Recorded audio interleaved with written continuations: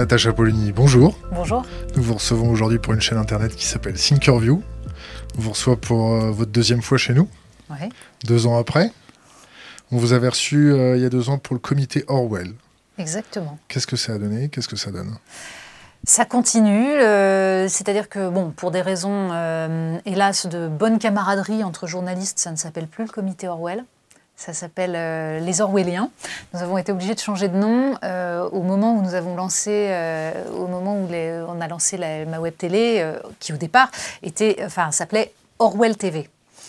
On avait choisi parce que pour moi c'était la continuité. On avait choisi de l'appeler comme ça parce que c'était ce qui nous rassemblait, c'était juste- justement le, pas seulement la critique du totalitarisme par George Orwell, mais aussi la dimension socialiste, un socialisme patriotique. Enfin, il y avait tout ça, il y avait, une cohérence. Et puis le jour du lancement, euh, des collaborateurs du monde des livres, puis de Libé, etc., ont, euh, ont passé la journée à essayer de retrouver les ayants droit de George Orwell, euh, qu'ils ont réussi à trouver. Et donc nous avons reçu une mise en demeure au bout de 24 heures donc de l'avocat des ayants droit nous disant qu'on n'avait pas le droit d'utiliser le nom. Donc nous avons précipitamment changé de nom. Donc, euh, hélas, il a fallu abandonner et trouver un nom tout de suite. C'est pour ça qu'on a appelé ça Polonie TV. Je trouve ça moins bien. C'est plus simple en référencement Internet, mais ça gomme la dimension collective euh, du, travail et c'est dommage. Mais voilà, bref, bref, nous en sommes là. Nous faisons travailler, nous euh, comment dire, euh, avancer euh, Polonie TV qui, euh, diffuse euh, donc des vidéos. euh, on en met en ligne à peu près deux par jour, des éditos, des entretiens, des, choses qui permettent de- d'aborder des sujets qui, euh, qui nous semblent absolument essentiels et qui sont très rarement abordés ou pas forcément comme nous le voudrions dans les, dans les médias euh, plus classiques, plus traditionnels, euh, notamment sur les questions économiques, parce que, comme euh, je l'avais déjà dit sur le comité Orwell, on a beaucoup de journalistes économiques parce que c'est le sujet où sans doute il y a le moins de liberté dans les médias, le moins de pluralisme, le moins de possibilités de mettre en avant certaines, euh, certaines réflexions. Donc euh, quelqu'un comme Jean-Michel Quatrepoint qui était... fondateur du comité Orwell et qui est à Apollonie TV, euh, fait des vidéos sur des sujets. Par exemple, il a été l'un des premiers à, alerter sur la, réforme euh, fiscale de Donald Trump, sur la façon dont il fallait se préparer à ce qui est une, euh, un, un bouleversement des données, des, règles de la fiscalité qui va avoir un impact sur, nous en Europe. Et il a fallu un temps fou pour que je trouve dans la presse papier ou dans les médias télé, audiovisuels une- un début de réflexion sur ces questions-là. Comment vous l'expliquez? Bah, Parce que euh, les médias euh, classiques euh, ont plutôt ont préféré axer sur la personnalité de Donald Trump, expliquer qu'il était méchant, qu'il était raciste, qu'il était vulgaire, euh, ce qui euh, est sans doute vrai, mais on s'en fiche. C'est pas le problème. Et je pense que sur les questions de géopolitique et d'économie, il y a une espèce de prisme qui est parfois un peu, euh, un peu moutonnier, qui consiste à ne surtout pas chercher à décrypter la- les rapports de force. C'est-à-dire qu'il y a C'est un moutonnier, oubli de la notion de rapport de force. C'est moutonnier ou c'est de la forfaiture euh Est-ce que c'est de la trahison? Est-ce que vous pensez que nos médias sont sous influence de puissances extérieures? Hmm, Non, enfin non. Je, ne- verrai pas les choses comme ça d'abord parce que je pense qu'il faut distinguer entre les structures et les individus et que je pense qu'il y a surtout une façon de traiter l'actualité qui est euh, impliquée par la forme de ces médias, que ce soit les, journaux, la, la télévision, la radio, et qui euh, modèle la façon dont les journalistes vont essayer de faire leur travail. Et même s'ils essayent de le faire le mieux possible, ils sont pris dans une, euh, dans une façon d'agir et de traiter l'information qui parfois leur interdit d'aller vers les véritables sujets. Et sur les questions économiques, je suis frappée surtout euh, par le fait que je pense que beaucoup de compétences se sont perdues. C'est-à-dire que euh, il y avait dans les années 80 euh, une spécialisation des journalistes qui leur donnait une capacité à peser face à leurs interlocuteurs. Ils connaissaient leur sujet, ils le dominaient aussi bien que les chefs d'entreprise qu'ils avaient en face d'eux, que les voilà. Et petit à petit, on a cassé cette compétence en faisant, en organisant un roulement au sein des journaux, en, estimant qu'il fallait euh, mettre en avant avant tout l'investigation et non pas la connaissance que le journaliste avait du milieu dans lequel il, euh, il opérait. Et je pense qu'il y a une déperdition du savoir-faire, du métier. Et sur les questions économiques, il faut connaître les sujets dont on parle. On ne peut pas s'improviser, euh, mais d'ailleurs c'est vrai aussi dans d'autres sujets, parce que dans le domaine qui était le mien, les questions d'éducation, je pense qu'il faut avoir une très bonne connaissance du système, de son fonctionnement, des prismes idéologiques, pour pouvoir traiter les choses et ne pas être, euh, ne pas être comment dire, dépendant des outils de communication des gens qu'on a en face de soi. Donc euh, il me semble que ça, plus disons, une, espèce d'habitude qui consiste à euh, systématiquement euh, accepter les dogmes qui sont fixés par euh, les, les, médias dominants et par le, finalement l'ensemble du milieu politico-médiatique, ça donne une espèce d'incapacité à traiter les sujets. Je pense par exemple sur les questions de libre-échange et de protectionnisme, on le voit actuellement avec la, question de la fameuse guerre commerciale lancée par Donald Trump. Euh, l'espèce de réflexe qui consiste à dire le protectionnisme c'est la guerre, donc il faut défendre le libre-échange qui euh, est tellement euh, merveilleux et qui nous garantit la paix, me semble un réflexe assez, euh, comment dire, assez primaire, dans le sens où la question n'est pas de, distinguer entre le blanc et le noir, d'expliquer qu'il y aurait d'un côté le protectionnisme avec des barrières, des frontières, et de l'autre le libre-échange généralisé qui serait forcément le bien. Il n'y a pas ouverture et fermeture. Il faut essayer de comprendre ce que le libre-échange a provoqué, comment il s'est construit, qui en profite, pourquoi. Moi, quand j'entends Xi Jinping euh, aller à Davos euh, donner des leçons de libre-échange à l'ensemble du monde et expliquer que c'est formidable et qu'il faut défendre le libre-échange, euh, je pense qu'on pourrait avoir un tout petit peu de recul vis-à-vis de ça. je suis très frappée de voir à quel point beaucoup de, médias reprennent l'espèce de, oui, de, vulgate selon laquelle bah, le, protectionnisme, ça conduit à la guerre, donc il faut aimer le libre-échange qui est merveilleux. Et on n'entre jamais dans la nuance des choses, dans, la, dans le, disons, le minimum de recul qui permettrait de ne pas être prisonnier des oppositions binaires. On, dit qu'il euh, faut donner au public ce qu'il veut et non pas ce que nous, on a envie de leur donner, c'est ça? Est-ce que vous pensez que les gens euh, n'ont plus cette capacité à comprendre leur système économique et que les journalistes leur donnent simplement une vulgate euh, simple à comprendre? Alors, il y, y, a deux problèmes dans votre question. Il y a d'abord la question de savoir s'il faut donner aux gens ce qu'ils veulent. Ce qui, euh, en matière de médias, me semble totalement erroné. Parce que, la phrase n'est pas de moi. Je sais bien. Mais la,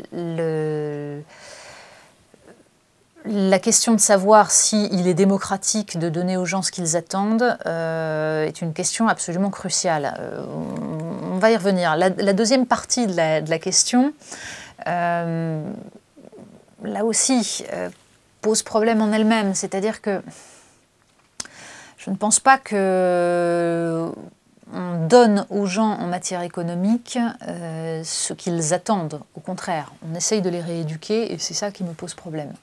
On essaye de leur expliquer qu'ils euh, croient spontanément que euh, de la protection et de la régulation permettraient de rétablir une forme de justice. Eh bien, on va leur expliquer que ce n'est pas vrai.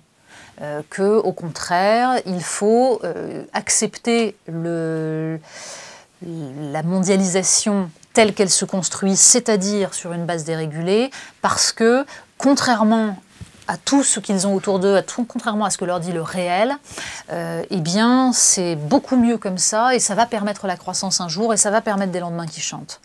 Or, je pense que cette forme de, discours qui consiste à dire ce que vous voyez n'existe pas et euh, nous allons vous expliquer euh, ce qui est bon pour vous est le contraire de la démocratie. Et c'est pour ça que j'en reviens à la question, à la première partie de la question. Faut-il donner aux gens ce qu'ils attendent? La question n'est pas de leur donner ce qu'ils attendent ou de les rééduquer. On n'a pas le choix entre les deux.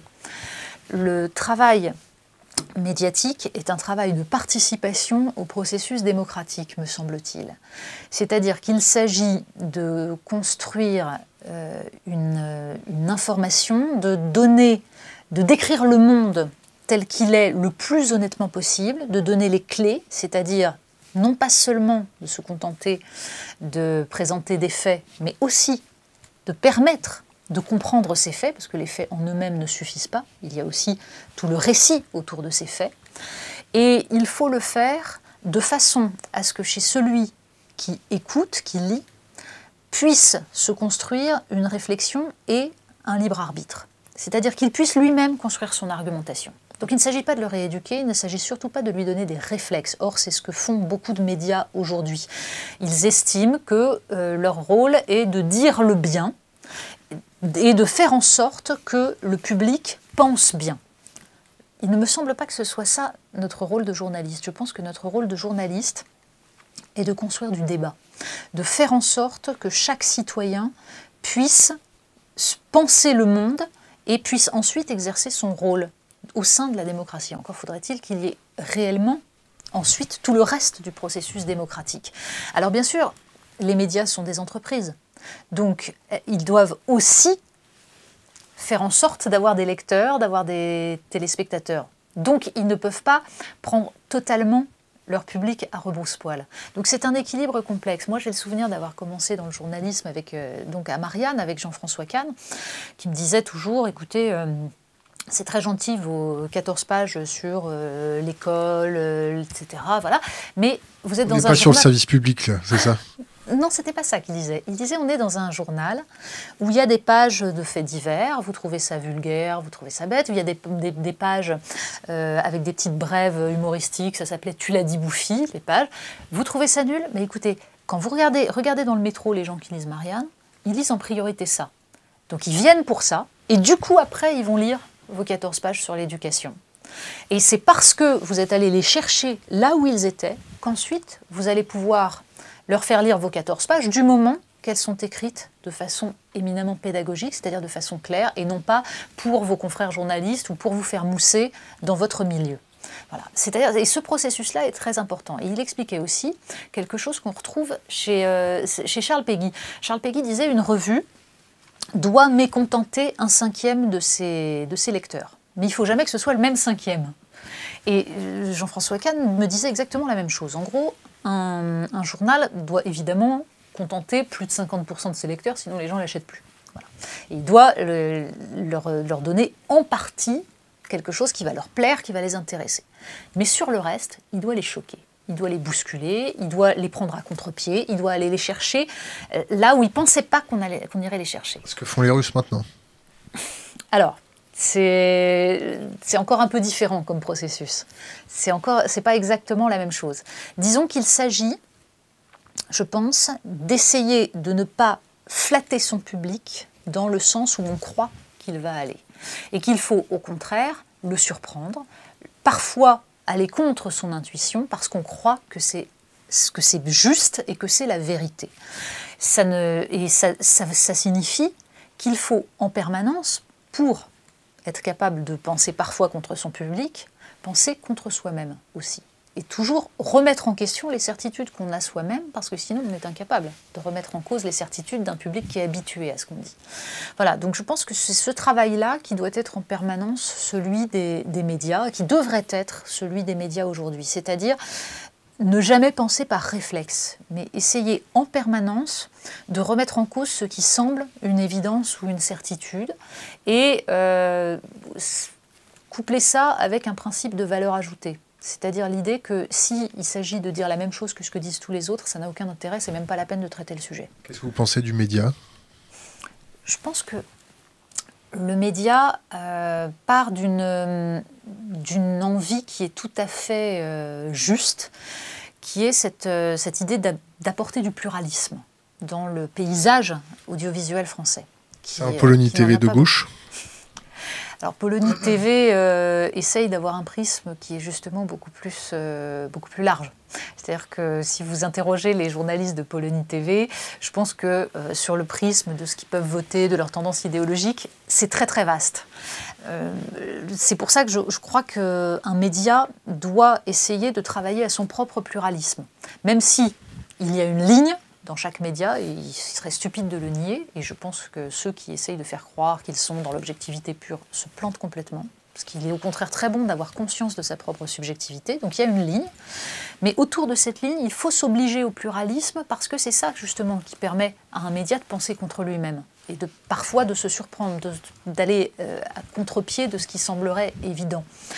Or, il me semble que euh, le média, malgré sa, son envie de pratiquer ce pluralisme, pour l'instant n'atteint pas forcément euh, ce, but, cet objet, même s'il y a des, séquences que moi je trouve très intéressantes, hein, que ce soit le, travail de Gaël Brustier, enfin, il y a aux médias euh, quelqu'un que j'aime énormément et qui travaille à Polonie TV, qui est Kevin Victoire, qui travaille aussi sur le, site, euh, la, revue Le Comptoir, qui est une revue absolument formidable. Donc il y a un potentiel et des gens qui travaillent très bien. Les fake news, quand on voit des choses comme le décodex, sortir du bois pour être un phare dans l'océan de l'Internet payé un peu par Facebook, euh, si je crois bien.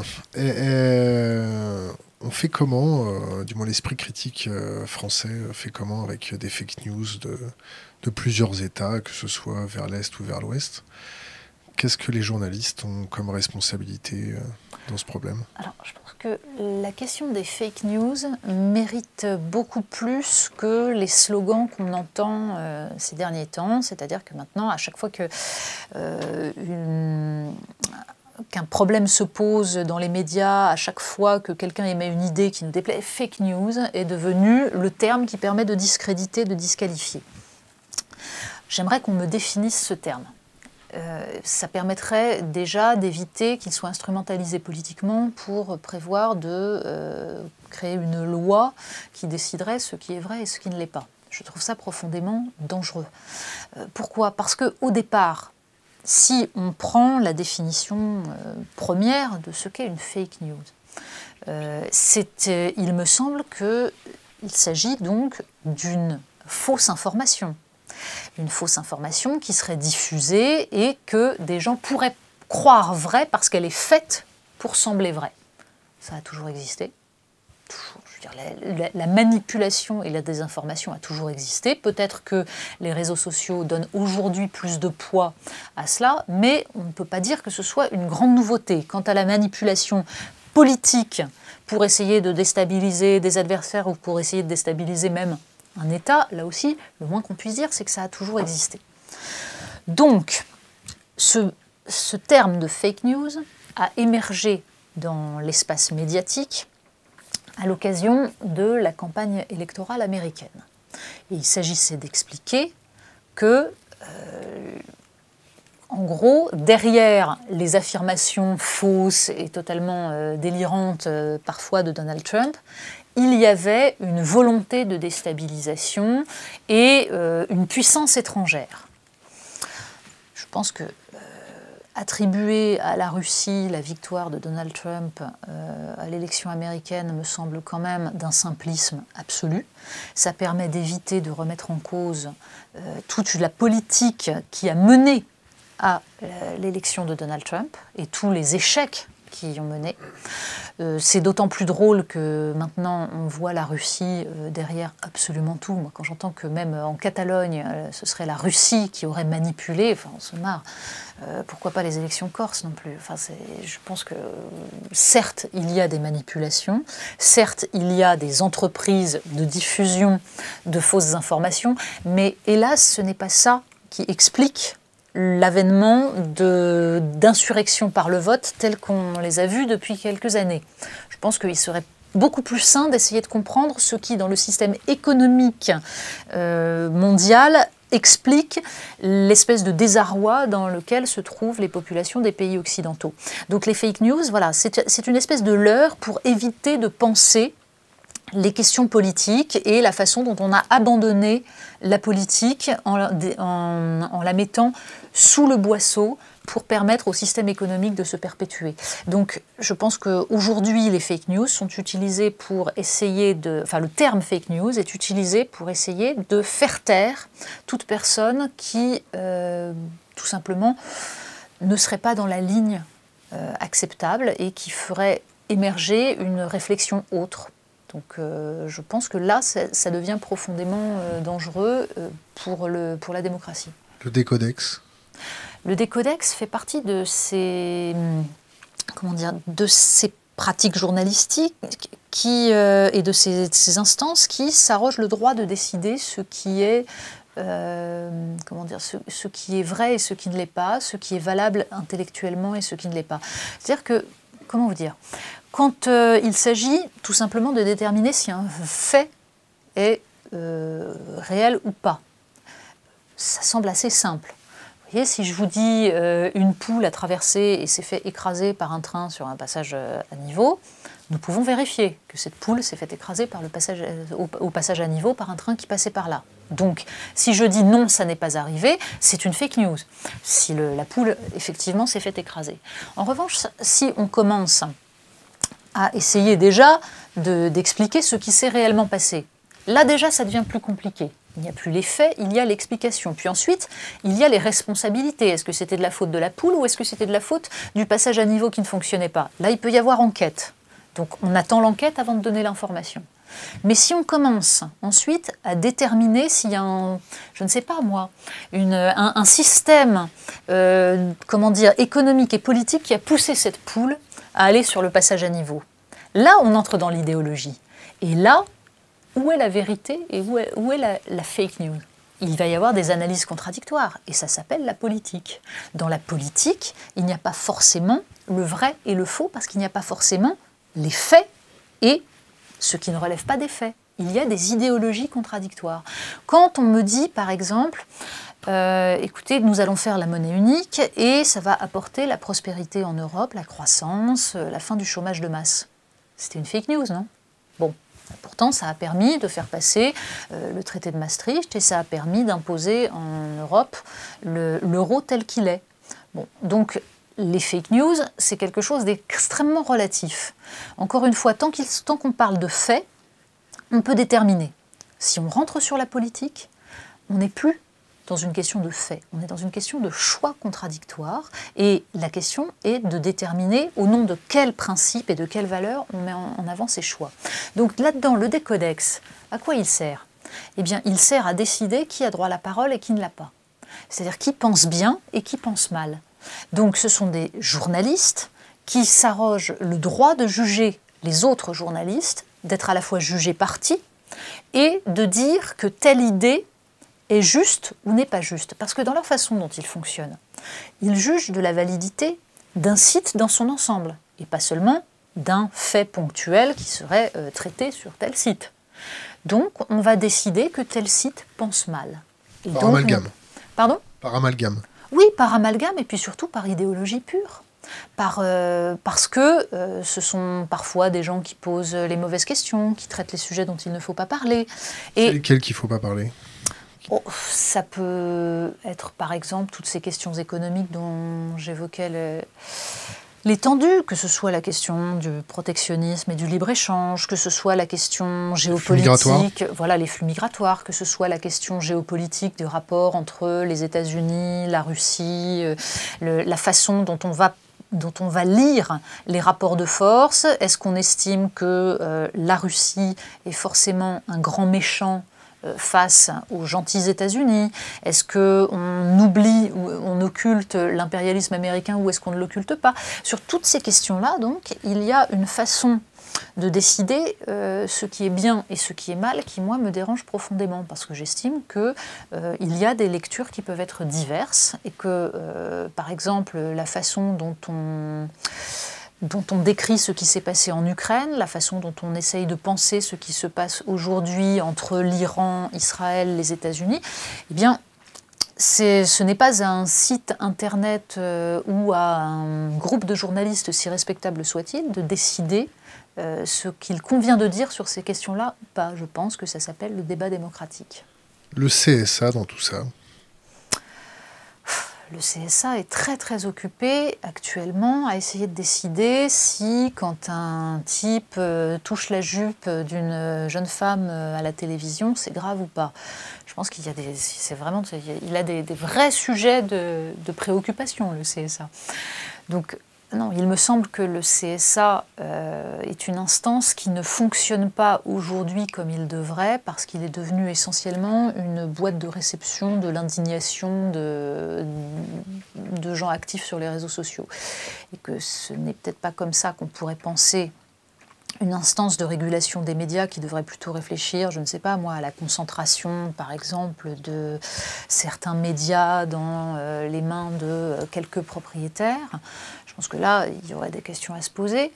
Euh, pour autant, il n'appartient pas non plus au CSA de déterminer ce qui relève d'une fake news et ce qui n'en relève pas. Et là aussi, le discours d'Emmanuel Macron lors de ses vœux à la presse, m'a profondément inquiété quand il a commencé à évoquer l'idée que le CSA devait être plus impliqué dans la façon dont on allait juger le contenu des médias.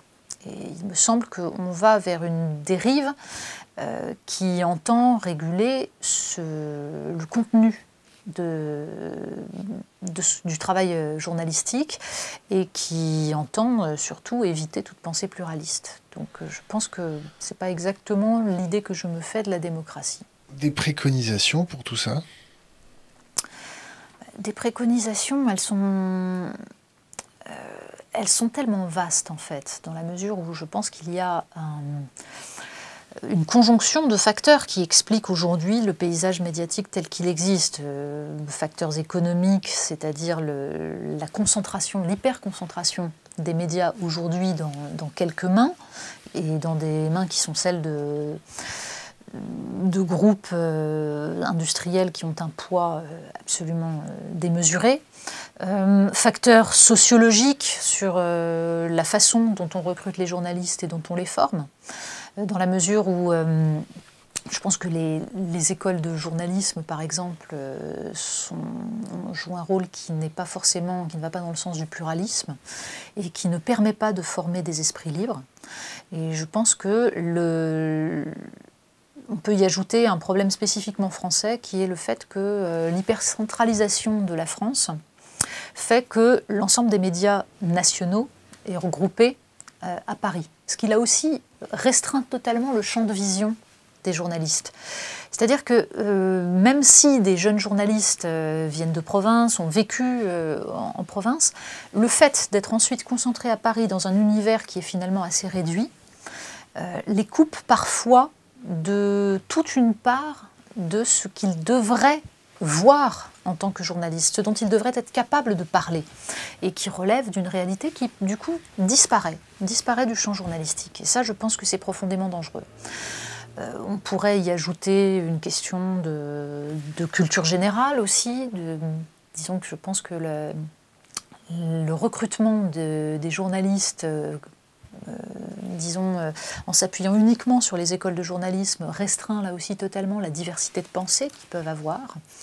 Voilà, c'est un ensemble de facteurs. Il y a les facteurs économiques, les facteurs sociologiques, des facteurs politiques, l'espèce de lien qui n'est toujours pas rompu entre le milieu journalistique et le milieu politique, avec une forme de, j'allais dire presque de fascination réciproque, et qui, euh, qui là aussi, euh, comment dire, incite les journalistes à euh, vouloir être reconnus par les milieux politiques.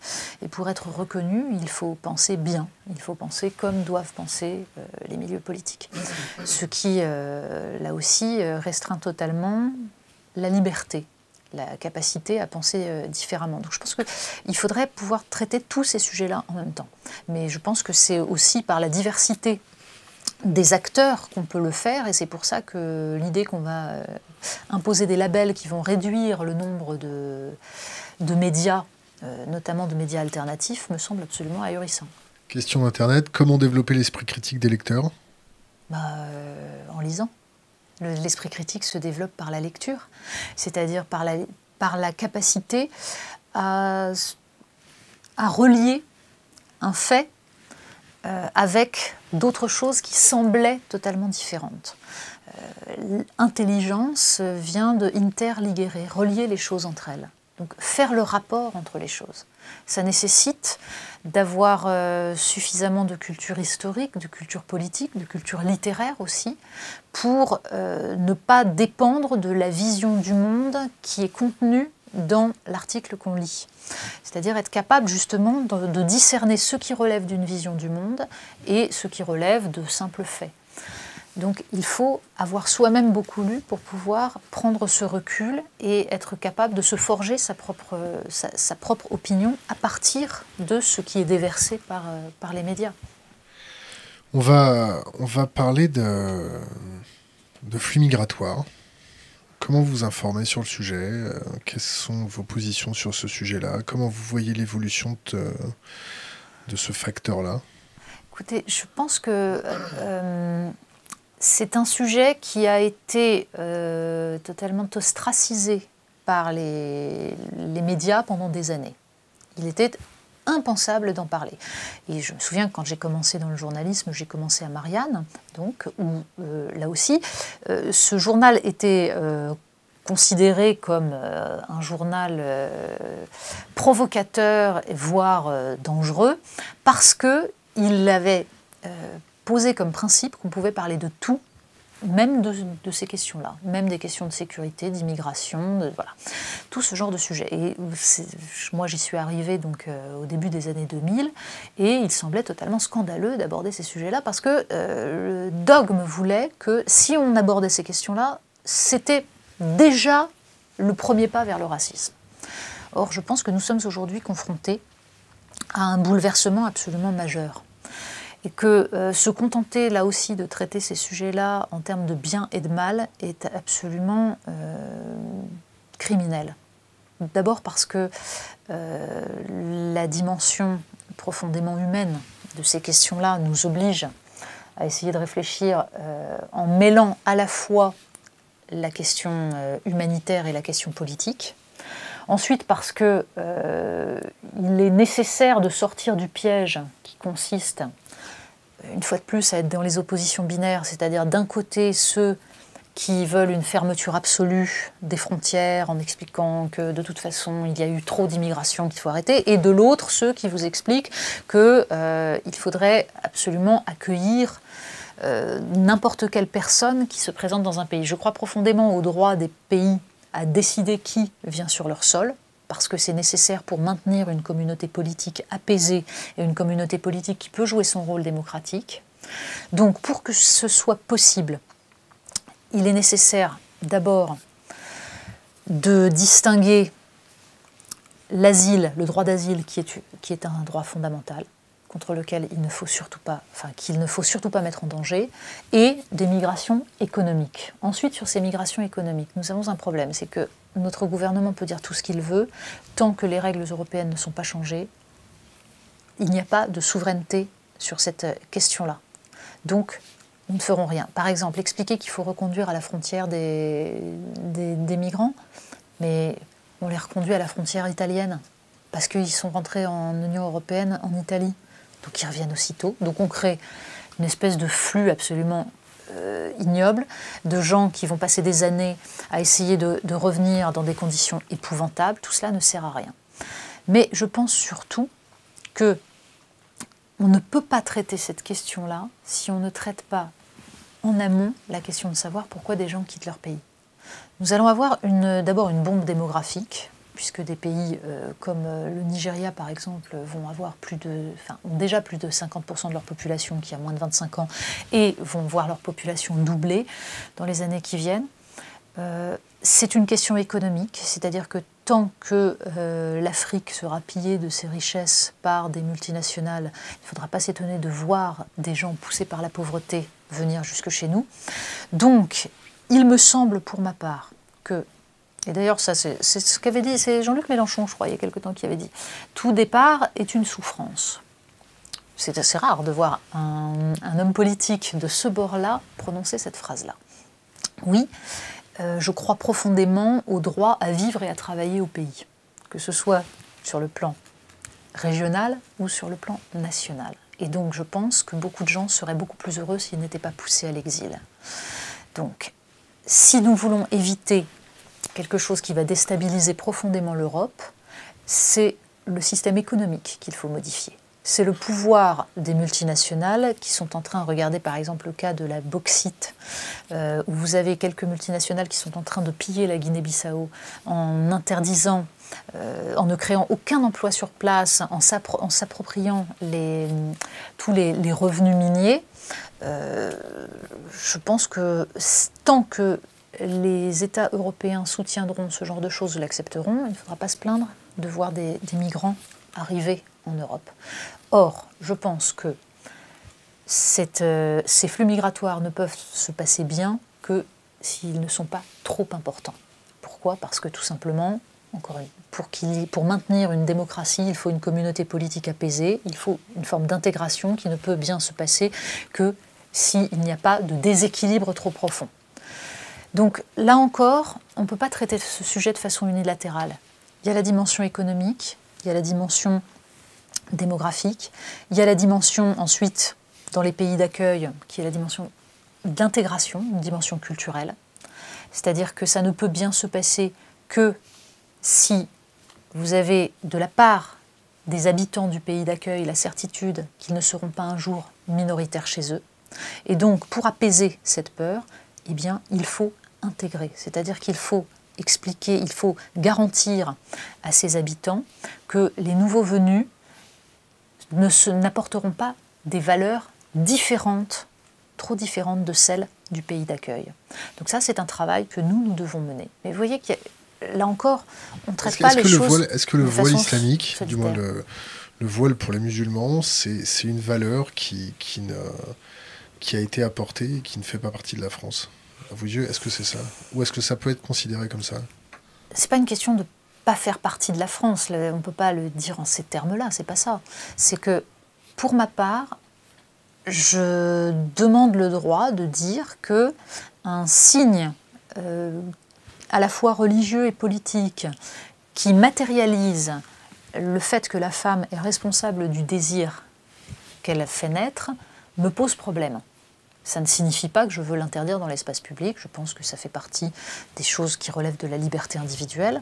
Mais pour autant, dans la façon dont la France a construit le rapport entre les hommes et les femmes, c'est en contradiction absolue avec euh, ce, rapport homme-femme, avec cette façon d'organiser l'espace public. Donc, c'est compliqué. Euh, tant que c'est un. Disons, tant que tant que ça reste un signe religieux, il a tout à fait droit de citer dans l'espace public, puisqu'on peut évidemment afficher des signes religieux dans l'espace public sans aucun problème. Le problème est quand il devient un marqueur identitaire qui consiste à euh, afficher son refus des valeurs dominantes de la société.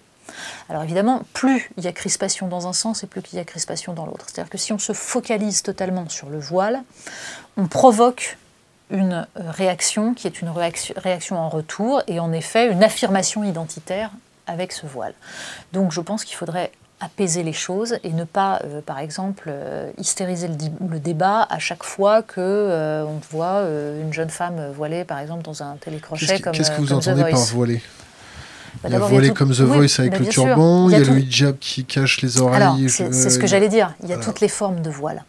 C'est-à-dire que euh, cette chanteuse Ménel, qui a provoqué comment dire, des réactions euh, hypertrophiées sur les réseaux sociaux, euh, portait tout simplement une forme de turban qui cachait ses cheveux. Elle, elle a enflammé parce qu'elle avait fait des tweets, des tweets de jeunesse, comme ils les appellent oui, ça. et ça, c'était, c'est un autre problème en fait.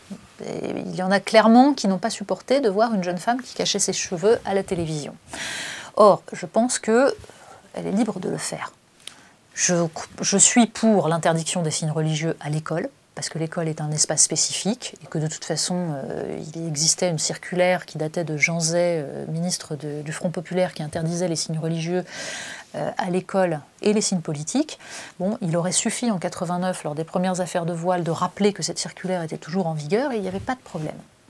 Hélas, ça n'a pas été fait par le ministre de l'Éducation nationale de l'époque, Lionel Jospin. Mais hors de cet espace spécifique qu'est l'école, on est libre d'afficher des signes religieux. En revanche, il y a en effet toutes les formes de voile. C'est-à-dire que ce n'est pas le même, euh, comment dire, le même message adressé à la société que de porter un foulard qui cache les cheveux, ou de cacher l'ensemble du cou, ou même de porter une abaya euh, sombre qui, masque absolument tout le corps. La burqa. burqa, la burqa, c'est pas ça. La burqa, c'est le, vêtement grillagé euh, d'Afghanistan. Euh, donc, justement, tout, tout, cela est différent. En revanche, ce qu'on appelle le niqab, par exemple, tous les, vêtements, l'ensemble des vêtements noirs qui sont clairement la marque d'un islamisme politisés et qui, relèvent d'un message politique, euh, me pose profondément problème, euh, d'autant que euh, c'est en fait un refus de l'espace social commun qui est affiché par là. Et donc je crois que c'est, en cela que c'est dangereux, c'est-à-dire que ça relève d'un séparatisme social. C'est compréhensible. Quand on voit Bimbo Co dans les téléréalités, habillés on va dire, euh, plus, plus que légèrement Est-ce que c'est pas compréhensible euh, de rebasculer vers des, valeurs euh, plus identitaires et plus refermées sur soi?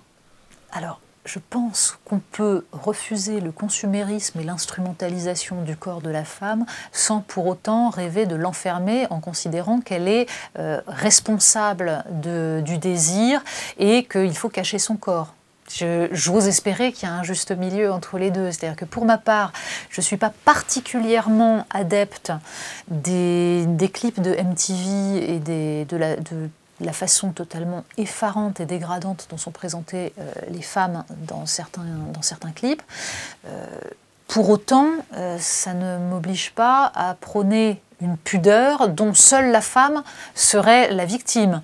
Voilà. Et je ne pense pas que les femmes qui ne se cachent pas les cheveux sont impudiques.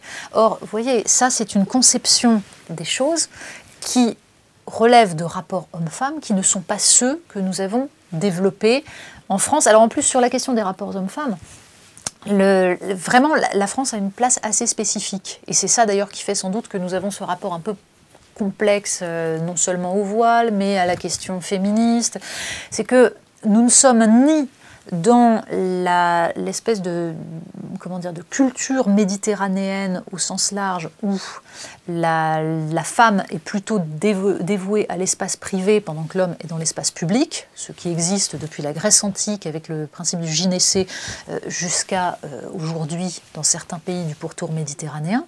Mais nous ne sommes pas non plus dans cette autre forme de séparatisme qu'ont pu développer les sociétés anglo-saxonnes, où finalement, même si les femmes participent à l'espace public, hommes et femmes vivent plutôt séparés. Et euh, du coup, euh, on a pu développer des formes de féminisme qui, sont des, qui, relèvent de la, j'allais dire presque de la guerre des sexes.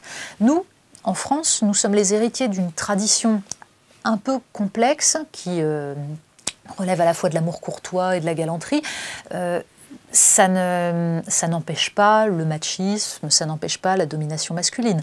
Mais ça, dire que c'est une façon de gérer le problème un peu différente, qui essaye de penser le rapport homme-femme par euh, un dépassement du désir par le langage, qui permet une mixité dans l'espace public, qui permet aux hommes et aux femmes de vivre ensemble je serais profondément attristée que cette façon très particulière de permettre la mixité disparaisse, euh, soit au profit de l'enfermement des femmes, quel qu'il soit, sous un voile ou dans une maison, soit au profit d'un séparatisme qui empêcherait les hommes et les femmes de vivre tranquillement des relations qui parfois sont des relations de désir. C'est-à-dire que je ne me satisfais pas de certaines formes du féminisme actuel, mais je me satisfais encore moins évidemment de cette idée que la femme ne serait pudique que quand elle est enfermée sous une bâche. Pas mal. Mais bon, je pense hélas que là, encore, la, nuance est devenue très compliquée à, défendre. Il y a un macartisme au niveau de, des opinions. On ne peut plus débattre, euh, on ne peut plus euh, échanger euh, sereinement en France. Non, c'est vrai, et tout le monde le sent. C'est-à-dire qu'il y a une radicalisation des, des opinions qui me semble profondément dangereuse, et une incapacité à accepter le débat politique, c'est-à-dire que nous sommes dans une nouvelle forme de retour du religieux, dans le sens où les, les problèmes ne sont plus pensés en termes politiques, c'est-à-dire des options et des choix différents dont il faut débattre pour trouver un compromis, mais en termes de euh, bien et de mal. c'est-à-dire le fait que l'autre est forcément dans le camp du mal et qu'il faut soit l'éradiquer comme un hérétique, soit le rééduquer. Or, de plus en plus, les débats sont posés en ces termes-là. Et on le voit notamment sur toutes les questions sociétales. Euh, la question du féminisme en est une, mais il y en a énormément d'autres où finalement euh, on, perçoit qu'il est devenu totalement impensable de, remettre en cause le dogme euh, voulu au nom de notre bien à tous. En fait, ce qui me dérange là-dedans, c'est une fois de plus, on en revient toujours là, la, question démocratique. C'est-à-dire que euh, je perçois ça comme une infantilisation totale des, des individus. C'est-à-dire qu'il s'agit de leur expliquer comment ils doivent penser plutôt que de leur donner les moyens de choisir par eux-mêmes ce qu'ils voudront penser. Un exemple simple, celui du vin.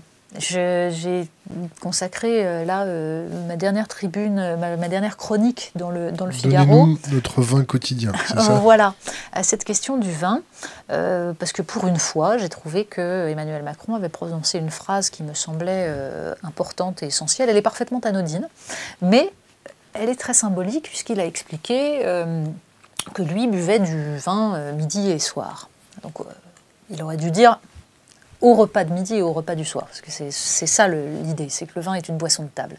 Et il répondait en cela à sa propre ministre de la Santé, qui expliquait que euh, l'industrie du vin essaye d'imposer l'idée que le vin serait spécifique. C'est pas vrai, tous les alcools se valent, ils sont dangereux, etc. Ce qui est une façon, selon moi, profondément infantilisante de traiter la question de l'alcoolisme. Personne ne va nier qu'il y a de l'alcoolisme, que ça provoque une souffrance et des maladies terribles. Pour autant, il me semble que les citoyens majeurs sont euh, adultes, qu'ils sont capables de choisir leurs actes, de décider quels risques ils veulent prendre, quels risques ils ne veulent pas prendre, jusqu'où ils peuvent aller. Donc il faut les informer, il faut leur expliquer le danger des molécules d'alcool, la façon dont ça se passe dans le corps, ça oui. Mais leur expliquer que quoi qu'il arrive, le premier verre de vin va les conduire au cancer et que euh, tous les alcools se valent parce que le vin serait un alcool, là ça me semble une façon quasi religieuse de prendre les choses. Le vin est une boisson de table qui contient de l'alcool. C'est pas un alcool. on ne le boit pas en général pour l'alcool qu'il contient, mais pour le goût qu'il a et la culture qu'il porte.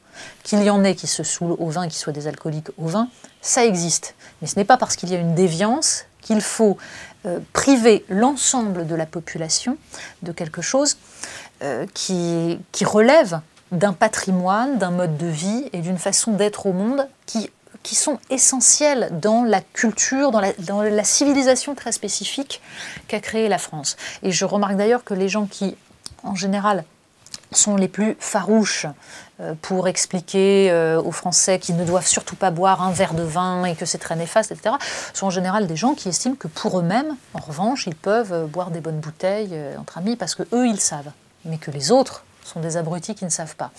Donc ça, ça me dérange. Je pense que le travail démocratique sur ce sujet-là, qui peut sembler anecdotique, comme sur tous les autres, c'est de faire en sorte que chaque individu puisse opérer ses choix, qu'il ne soit pas aliéné par un système.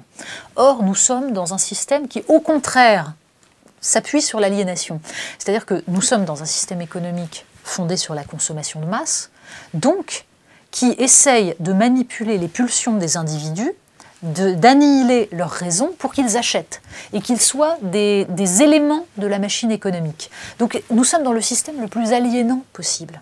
Donc au contraire, je préférerais que nous sortions, que nous nous émancipions de ce système consumériste et que chacun, à travers des informations euh, qu'il aura euh, acquises par le travail des médias, puisse décider pour lui-même de la façon dont il veut mener sa vie.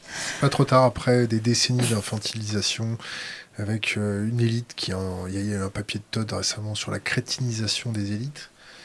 Euh, c'est pas trop tard, on n'a pas une masse inertielle de, je, vais, je vais parler trivialement, mais de gros boulets qui ont été bercés au biberon de la douce nouvelle pendant euh, des décennies. Est-ce qu'on c'est pas un peu trop tard pour s'emparer de, son esprit critique, de comment fonctionne le système, de contrer les idéologies qu'on nous soumet de A à Z, l'idéologie dominante euh, C'est pas un peu trop tard Si on considère qu'il est trop tard, on peut retourner cultiver son jardin,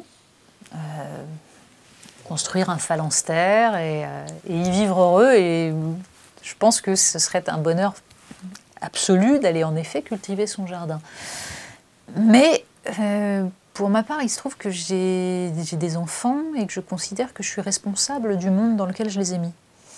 Donc, pour l'instant, j'essaye euh, non seulement de me dire qu'il n'est pas trop tard, mais j'essaye de faire en sorte d'avoir apporté ma part, d'avoir essayé un tout petit peu d'améliorer ce monde qui en effet ne me convient pas tel qu'il est. C'est-à-dire que la question n'est pas qu'il soit euh, trop tard ou trop tôt, je ne me pose jamais la question de savoir si c'était mieux avant, si ce sera mieux après. C'est pas mon problème. Je ne suis ni optimiste ni pessimiste parce que ça relève euh, de la foi, l'optimisme ou le pessimisme. Oh, je crois que les choses vont aller mieux ou je crois qu'elles vont aller moins bien. Moi, je ne suis pas dans la foi, je suis dans la pensée politique et l'action. C'est-à-dire que j'essaye de faire en sorte que le monde ressemble à, disons, ce qu'il devrait être si nous étions dans une véritable démocratie, si les individus étaient émancipés. Donc voilà, j'essaye de, m'en donner les moyens. Le jour où je m'apercevrai que décidément je ne sers à rien, en effet, j'irai cultiver mon jardin avec le plus grand des bonheurs. Alors, comment, comment penser le monde euh, comme il devrait être, c'est ça?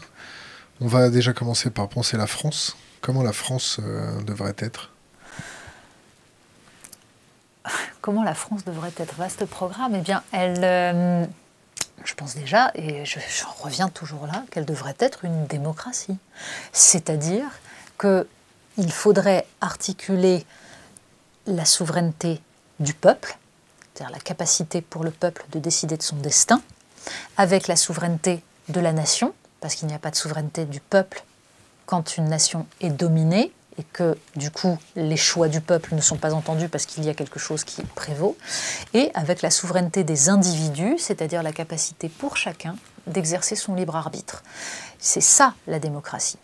Or, c'est le de l'Europe, on fait quoi? Disons que euh, au moins on introduit un rapport de force suffisamment brutal pour euh, aller jusqu'au bout des tentatives pour changer les choses. C'est-à-dire que j'estime que euh, quand je parle d'un rapport de force brutal, euh, je pense que si on part du principe qu'on ne sortira pas de l'Europe, il n'y a plus de rapport de force. Donc il faut partir du principe, c'est comme la dissuasion nucléaire, il faut partir du principe qu'on pourrait en sortir. Déjà là, on a les moyens de peser un petit peu plus que quand on dit mais ne vous inquiétez pas, nous ne changerons pas les règles du jeu. Ne, vous inquiétez pas. On, voudrait bien, par exemple, qu'on révise la directive travailleurs détachés. On voudrait bien, euh, bon, être un peu plus indépendant des États-Unis en termes de défense. Mais, mais vous inquiétez pas, on ne touche pas les règles du jeu et on se conformera in fine. Voilà, on sait très bien que c'est mort. Donc, la question, c'est de savoir comment on introduit ce rapport de force en étant prêt à aller jusqu'au bout.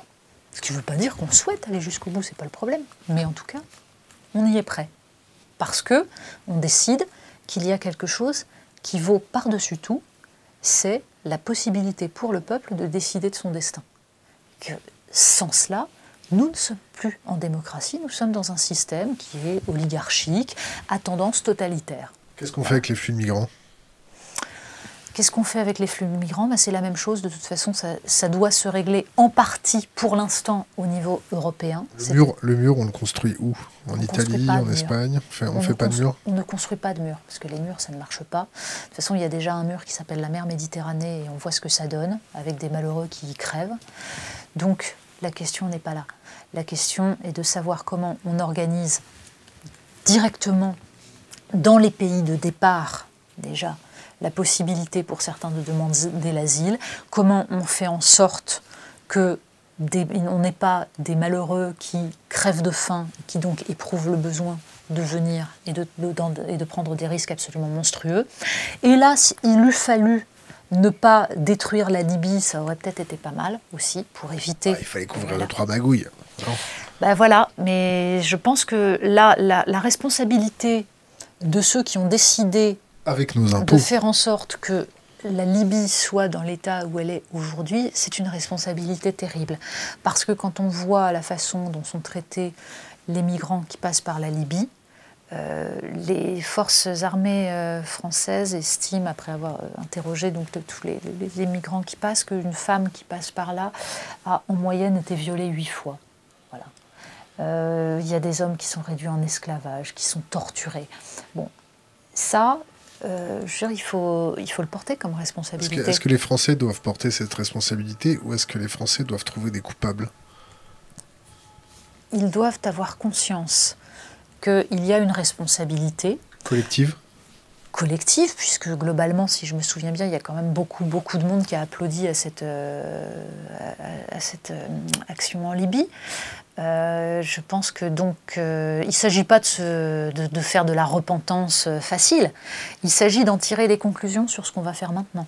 C'est-à-dire éviter de, répéter les mêmes erreurs, c'est-à-dire arrêter de concevoir le monde en termes de bien et de mal avec les gentils et les méchants, et essayer de comprendre comment on peut à la fois apporter de la stabilité dans les différents pays qui, sont à la, qui sont les pays de passage des flux migratoires et les pays de départ des flux migratoires. Comment on fait pour ne pas cautionner euh, le, pillage des matières premières? Comment on fait pour euh, permettre le développement réel de ces pays-là par une agriculture vivrière, par une reprise en main de leur de toute leur, euh, richesse, euh, comment on fait pour ne pas euh, cautionner des pouvoirs qui sont des pouvoirs qui, qui écrasent leur peuple et qui les, et qui les volent?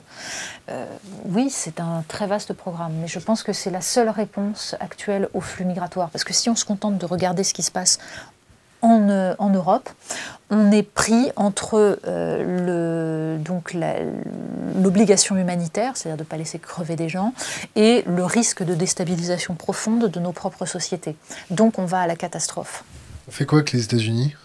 On se positionne comment? Dans la France euh, rêvée de, de Natacha? Je pense que, dans un sens, Donald Trump euh, est en partie euh, notre plus grande chance parce qu'il faut se dire que si euh, il n'avait pas été élu, nous serions encore plus dépendants des États-Unis. C'est-à-dire que nous aurions des élites qui continueraient à estimer que les États-Unis sont le bien absolu et qu'il faut surtout s'abstenir de tout esprit critique vis-à-vis -vis de leur choix. Au moins là, Donald Trump agit comme un repoussoir et donc impose qu'on commence à se poser la question, par exemple, d'une défense européenne, par exemple, d'une forme d'indépendance, euh, de souveraineté. Euh, c'est déjà pas mal. On, est très très loin de, quoi que ce soit qui puisse ressembler à une véritable indépendance. Pour l'instant, euh, sur les questions numériques, nous sommes une colonie américaine. sur les questions de défense aussi.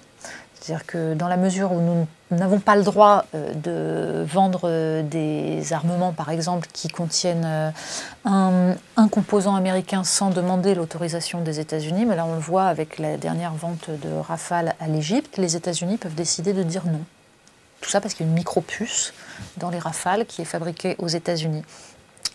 On va voir ça aussi avec la façon dont Donald Trump va petit à petit, enfin il a commencé à essayer d'imposer euh, aux entreprises européennes de cesser euh, tous leurs investissements en Iran.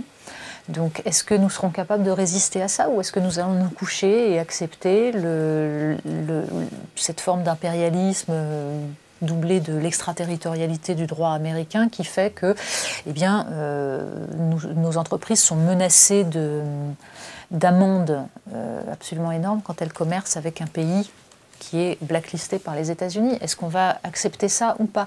C'est tout ça qui va se jouer. Mais euh, nous ne pouvons pas prétendre avoir aujourd'hui une, euh, une, politique indépendante si nous continuons à accepter l'ensemble de ces données-là. Or, pour l'instant, euh, il y a dans l'Union européenne des pays à qui ça convient très bien et qui donc vont empêcher toute indépendance véritable. Euh, je pense à la Pologne, mais bon, même euh, les, Allemands jouent un rôle très ambivalent sur ces questions-là.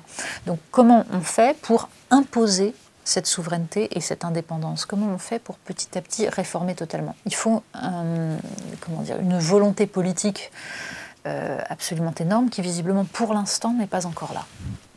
Avec la Russie, on entretient quoi comme rapport? On fait quoi avec eux? On entretient euh, les mêmes rapports qu'avec euh, d'autres pays, c'est-à-dire euh, c'est pas parce qu'on ne les trouve pas à notre goût qu'on ne leur parle pas.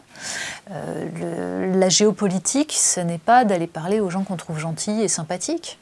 Donc là, en l'occurrence, la Russie est un pays qui, qui développe, qui protège ses intérêts et qui développe une forme d'indépendance euh, notre rôle n'est pas de juger si c'est bien ou si c'est mal, mais de savoir comment nous pouvons, nous, euh, éviter de dépendre soit de la Russie, soit de la Chine, soit des États-Unis. Donc, euh, par exemple, en termes énergétiques, est-ce que nous sommes capables de ne pas nous retrouver pris au piège entre le, le gaz russe et la volonté des États-Unis de comment dire, de, d'empêcher cette, euh, cette relation euh, commerciale. Voilà, toute la question. Donc euh, là aussi, le problème, c'est que nous sommes dans, des, dans une, comment dire, dans un processus européen qui nous interdit de penser ces choses-là.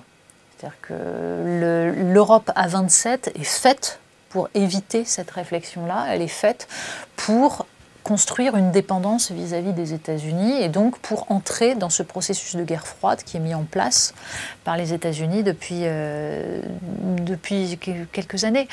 Donc euh, là, le problème, c'est que les relations vont certainement se tendre, c'est-à-dire qu'il y a autour de Donald Trump des gens qui visiblement veulent la guerre une forme de guerre, euh, que ce soit en Syrie, en Ukraine, en Corée du Nord, il y a tout un clan qui pousse à la guerre et qui tient Donald Trump sur ces affaires russes, qui donc fait en sorte que, euh, gros, il se couche.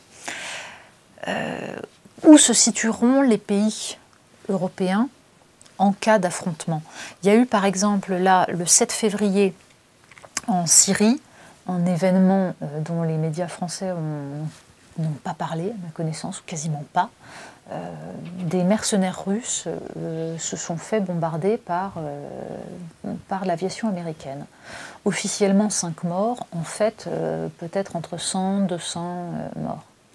Ce sont des mercenaires, ce n'est pas l'armée russe. Mais il y a en Syrie une, comment dire, une confrontation entre les Russes et les Américains qui peut déraper à tout moment.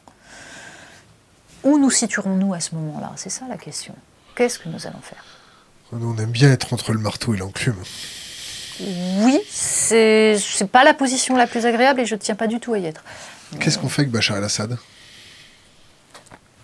C'est pareil, on, évite de, prendre nos rêves pour des réalités et de croire qu'on peut euh, décider que parce que ce type est une ordure, euh, il va disparaître par miracle.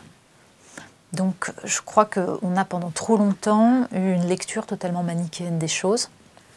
Euh, Bachar el-Assad est une pourriture euh, qui n'hésite pas à massacrer son, propre peuple, mais pour l'instant, euh, en face, il n'y a pas tellement de gens plus recommandables.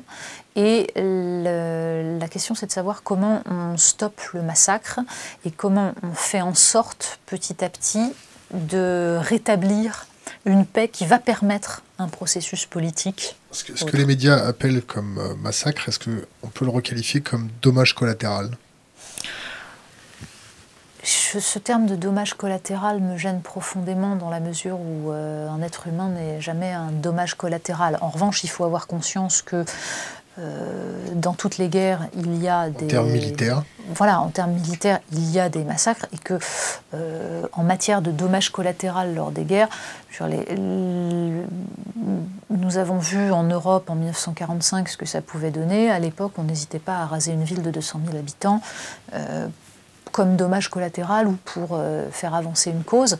Donc euh, je pense que voilà, il faut avoir conscience que la guerre est une horreur, mais que c'est par, des, par un travail géopolitique qu'on va pouvoir agir et non pas par des grandes déclarations sur le fait que euh, tout ça est très triste, très mal et qu'il il faut chasser Bachar al-Assad. Là, par exemple, je vois le traitement médiatique sur sur l'enclave de la Ghouta. D'abord, c'est intéressant ce terme euh, d'enclave rebelle. Voilà, qu'est-ce que ça veut dire rebelle euh, Qu'est-ce qu'il y a derrière? On nous a déjà fait le coup avec Alep Est. Et euh, donc on nous expliquait, on avait toutes les images qui montraient les, horreurs commises par l'armée de Bachar el-Assad. mais il n'y avait rien pour. Il n'y avait, avait, pas le moindre reportage dans Alep Est. Et il a fallu un temps fou pour que quelques journalistes s'intéressent à ce qui se passait réellement et à la façon dont la population euh, avait été prise en otage par des groupes djihadistes qui se comportaient de façon absolument cauchemardesque. Donc je pense que le traitement de l'information devrait être un tout petit peu plus euh, prudent sur ces questions-là, ou en tout cas, il devrait éviter, euh, là aussi, d'essayer de, construire des, des camps en noir et en blanc. Qu'est-ce qu'on fait avec Israël? Là aussi, c'est une question, euh, comment dire, qui va de toute façon se poser, de toute façon, parce que euh, la politique menée par Benjamin Netanyahou est là euh, profondément dangereuse, je pense. Et je suis très attristée de voir à quel point aujourd'hui en France, il n'y a plus de voix pour porter la critique, j'allais dire de, de voix d'intellectuels juifs, par exemple, pour porter la critique profonde, réelle de la politique menée par Benjamin Netanyahou. On pouvait avoir ça euh, dans les années 90-2000, euh, il y avait euh, en France un débat sur ces questions-là. On se souvient, au moment de la, deuxième intifada, il y avait eu des prises de position extrêmement courageuses, contradictoires. Là, il n'y a plus rien, il n'y a plus de discussion. Et l'État d'Israël va se retrouver confronté à un problème absolument majeur, étant donné la, politique menée depuis quelques années par Netanyahou, c'est que là, Netanyahou a fait en sorte que la solution à deux États soit de moins en moins possible avec les Palestiniens. Et certains se mettent même à penser ouvertement euh, que, eh bien, il va falloir un seul État. Mais un seul État, ça veut dire quoi? Un seul État démocratique réellement? Parce que le fondement d'Israël, au départ, c'était d'être un État euh, démocratique et juif. Là, avec Israélistan. Euh, une sorte de, il y avait ce rêve que ce soit donc un État juif, mais euh, profondément avec, avec un idéal qui au départ, d'ailleurs, le sionisme c'était un idéal de gauche hein, au départ. Et sauf que aujourd'hui, si on détruit la solution à deux États, si on ne fait qu'un seul État, en incluant donc les territoires palestiniens, étant donné la démographie, il va falloir à un moment donné choisir entre État juif ou État démocratique. Et là, ça va poser problème. Et je crains que euh, Israël, petit à petit, ne soit confronté à cette question démocratique de façon majeure. Donc je pense que cette, politique-là est profondément dangereuse. Euh, je pense que la, poursuite de la colonisation à outrance est, euh, est un facteur de déstabilisation euh, majeur en plus d'être un scandale. Ils ont été condamnés, non? Ah oui, bah ça. Euh, oui, oui, oui. Euh, il y a eu des condamnations, en effet, à l'ONU. Et c'est très, très utile, les condamnations à l'ONU, ça marche bien. Euh, non, je pense que là aussi, c'est une question de, géopolitique et de rapport de force. Est-ce que ça marche aussi bien que des minutes de silence oui, aussi bien que des minutes de silence, c'est exactement ça. Et des marches blanches aussi. On peut aussi organiser des marches blanches. Donc je pense que voilà, la, question, c'est, une fois de plus, c'est en termes géopolitiques, qu'est-ce qu'on fait? C'est-à-dire que l'axe là qui s'est construit entre euh, Donald Trump, Benjamin, Benjamin Netanyahou et euh, le prince Ben Salman d'Arabie Saoudite euh, est en train de, déstabiliser le Moyen-Orient, si, tant est qu'il n'ait jamais été stable. Mais là, en l'occurrence, on voit comment cela provoque une montée des tensions avec en ligne de mire l'Iran. Euh, et ça me semble, euh, comment dire? Cousu de fil blanc. Oui, et je pense que le, une fois de plus, le rôle des pays européens serait d'essayer d'introduire, on va dire, de la, au moins de la dissonance dans cette, dans cette jolie mélodie. Le, Qatar, on continue de leur vendre des armes, on continue de leur déplier le tapis rouge. Euh, on fait quoi? On leur dit bon maintenant ça suffit. Euh, on leur dit quoi? Bah, C'est-à-dire qu'on a un problème. Ils ont l'argent, on l'a pas. C'est-à-dire que quand on n'a pas de capitaux, on va chercher les capitaux là où ils sont. Et c'est le problème que rencontre la France depuis 15 ans. C'est-à-dire que nous avons vendu, nous nous sommes vendus au Qatar et à l'Arabie Saoudite parce que nous n'avions plus de capitaux et que nous avions besoin d'investissements. Donc il est nécessaire aussi de reconstruire un tissu industriel, de reconstruire des investissements, de retrouver des capitaux propres, de retrouver une indépendance économique pour pouvoir se passer de ces alliés qui n'en sont pas. L'un sans l'autre, ça ne marche pas. Avec la, la, on- la France-Afrique, euh, on arrête, on continue. Le franc-CFA, on arrête, on continue. euh, on fait quoi avec tout ça? C'est la France-Afrique, je l'ai évoqué euh, en creux euh, en parlant de, des problèmes migratoires. C'est-à-dire que, alors le problème de la France-Afrique, c'est qu'elle n'existe plus sous la même forme. C'est-à-dire que ce n'est pas l'État français qui manipule, mais nous avons des multinationales qui aujourd'hui jouent un rôle dans les pays d'Afrique. On a aussi des habitudes de consommation Oui. qui poussent des multinationales. On fait quoi? Il faut changer nos habitudes de consommation Bien sûr. C'est-à-dire que c'est là qu'intervient la responsabilité des individus. C'est-à-dire que nous sommes dans un système économique qui euh, nous permet de dormir sur nos deux oreilles en délocalisant notre pollution dans des pays d'Asie et d'Afrique, en ne regardant pas d'où viennent les produits que nous utilisons, et en estimant que nous sommes des gens bien parce que euh, chez nous c'est plutôt apaisé et sympathique. Mais en fait, c'est notre consommation qui, euh, qui provoque euh, en Asie, en Afrique, des, des massacres, de la pauvreté, de la pollution.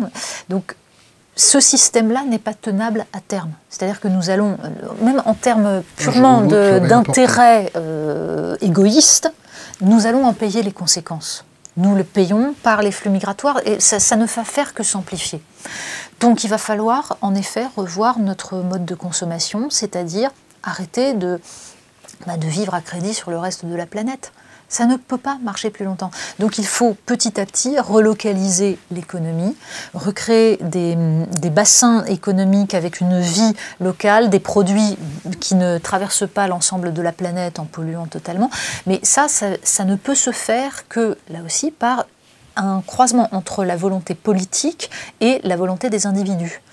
C'est à la fois une action individuelle, chacun est parfaitement capable de décider, euh, enfin de, de décider d'enfin regarder les étiquettes des produits qu'il achète, de se demander dans quelles conditions a été produit le jean qu'il porte, etc. On, on peut le faire, c'est une question de pédagogie. Il faut à un moment donné aussi commencer à responsabiliser les individus. Et puis, ça ne peut pas marcher, enfin, les individus ne sont pas les seuls responsables, et c'est pas à eux de changer le monde tout seuls, c'est aussi par le biais de la politique, par le biais d'une action collective. Mais c'est le croisement entre les deux qui va permettre de changer les choses. Mais en revanche, je pense que le, minimum que nous puissions faire, c'est euh, une, action individuelle pour commencer, ne serait-ce qu'à prendre conscience que euh, chacun de nos gestes, chacun de nos actes de consommation est un acte politique. Nous choisissons un système économique et politique en décidant d'acheter, par exemple, des vêtements à bas prix qui ont été qui ont été fabriqués dans des conditions ignobles dans des pays. euh, de- Si je vous dis GDPR, ça vous fait penser à quoi? GDPR, ça me fait penser à rien du tout. Si je vous dis Union Européenne, protection des données, euh, protection de la vie privée, Oh, euh, oui. GAFA, euh, est-ce que l'Europe elle est taillée pour euh, dire bon bah non ça suffit, euh, les, Ah bah non, les données, les françaises et européennes elles restent en France, elles sont protégées par la loi française, ça suffit. Est-ce qu'elle est, qu'elle est câblée et équipée pour faire ça? Très honnêtement, alors je ne suis pas ultra spécialiste de ces sujets-là, mais pour ce que j'en connais, je pense que l'Union européenne a été faite pour tout, sauf pour euh, construire une indépendance et une souveraineté, quelle qu'elle soit, et sur ce sujet-là, plus que sur les autres. Et donc il me semble que même s'il y a un tout début de prise de conscience, nous avons une telle dépendance euh, vis-à-vis des GAFA qu'il va falloir énormément de temps, me semble-t-il, pour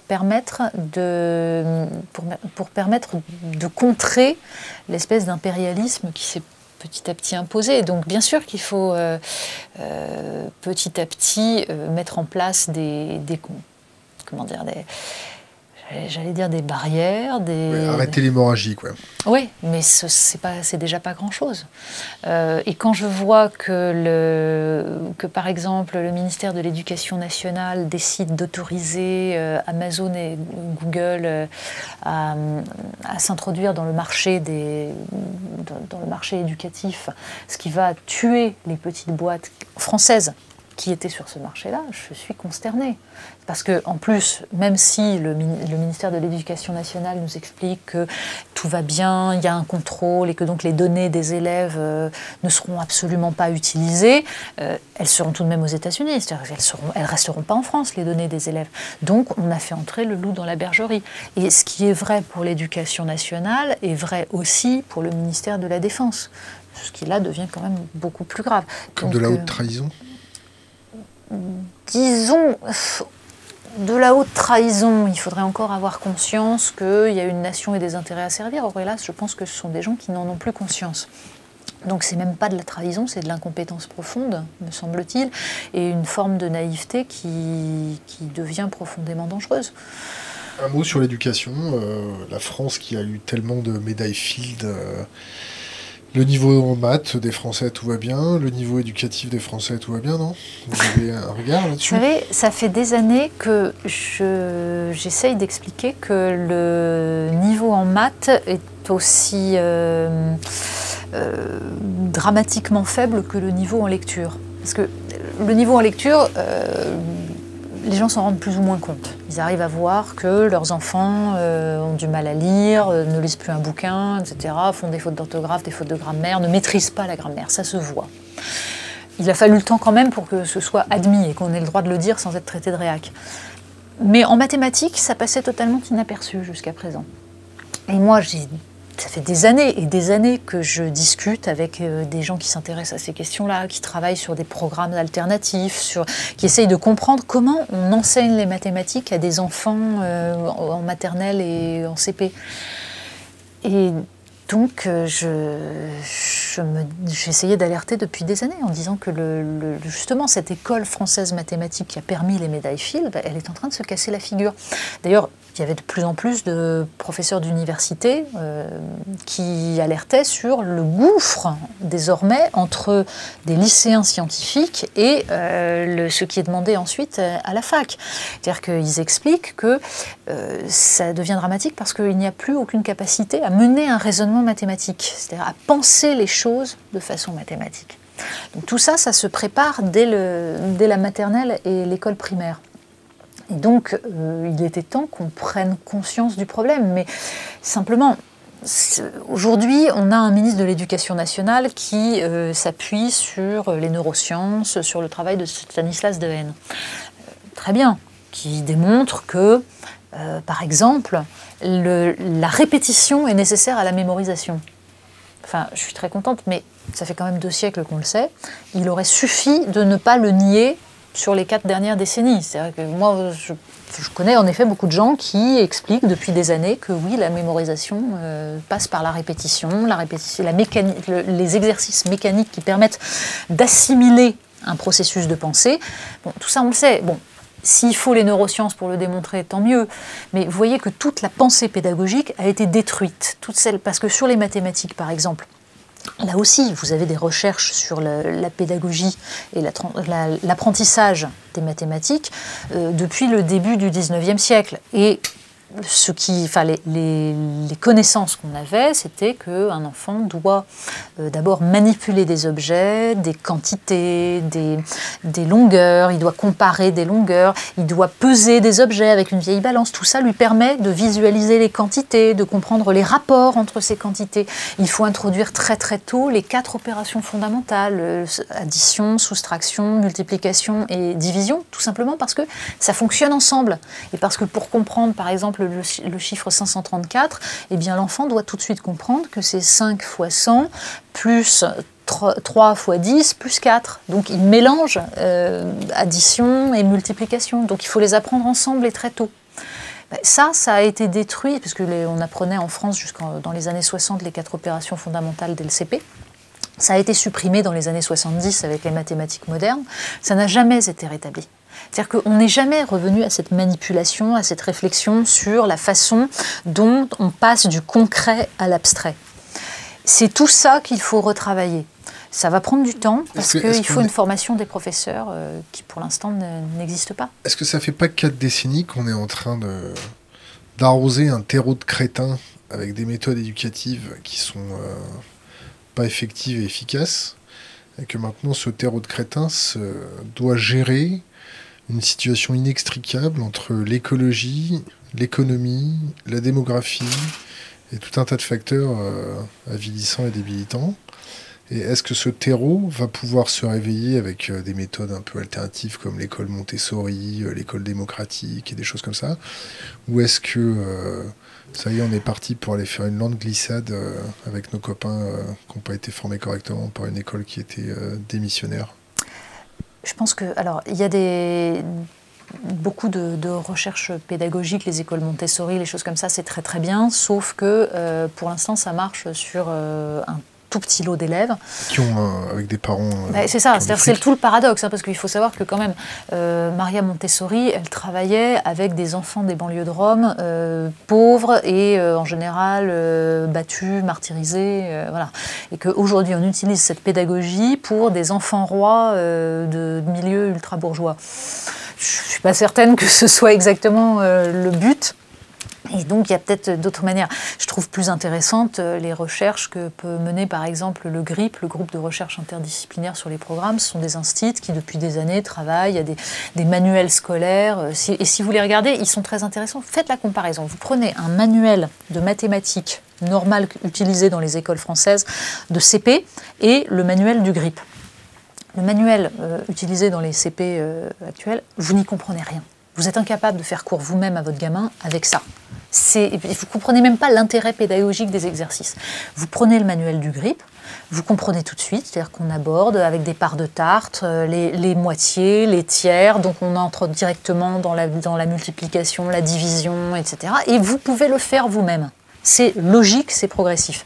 Bon, donc ça veut dire que et ce sont des gens qui ont travaillé à ça, qui ont réfléchi à la meilleure manière de faire passer, par exemple, comment on explique le périmètre à un enfant avec une ficelle, une boîte de conserve pour lui montrer le rapport entre le périmètre, le diamètre en lui faisant mesurer. Bon voilà, toutes ces choses-là, ça se pense parce que enseigner, c'est un métier, ça s'invente pas. Il y, a, un savoir-faire, c'est même, c'est même un artisanat en fait, et avec avec un savoir-faire, avec une patte.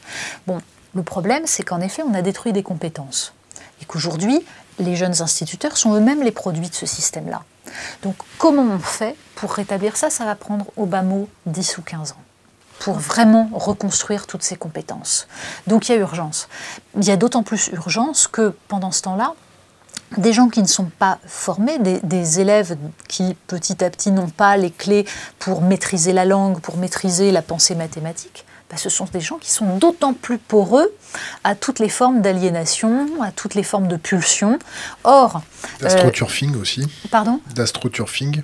Oui, oui, oui, ah bah oui, oui, tout, tout. Mais c'est simplement que, vous voyez, le drame, c'est je ne suis pas complotiste, je ne pense pas qu'il y ait une volonté d'abrutir les masses pour mieux les manipuler. Je pense que c'est une conjonction de facteurs. Disons qu'en tout cas, ça dérange pas. Euh, l'abrutissement des masses ne dérange pas le système, bien au contraire.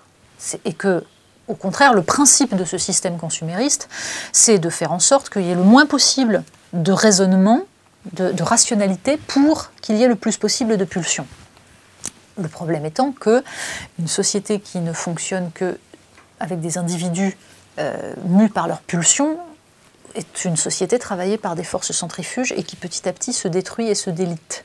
Et nous le voyons aujourd'hui, c'est-à-dire que nous allons en payer les conséquences. Ça ne marche pas de, une société d'individus euh, consuméristes, c'est une société de cauchemar, parce qu'il n'y a plus de communauté politique, parce qu'il n'y a plus de capacité à accepter l'autre et à vivre avec lui, parce qu'il n'y a plus de capacité de débat politique. Donc la seule façon de tenir cela, euh, c'est d'aller vers une forme de totalitarisme doux pour euh, empêcher les formes de, violence qui peuvent naître dans ce, système-là. Donc là, aujourd'hui, nous en sommes clairement là. C'est-à-dire que nous sommes dans, une, dans cette forme de totalitarisme soft où on essaye de canaliser les pulsions qu'on a provoquées pour permettre à la machine économique de fonctionner.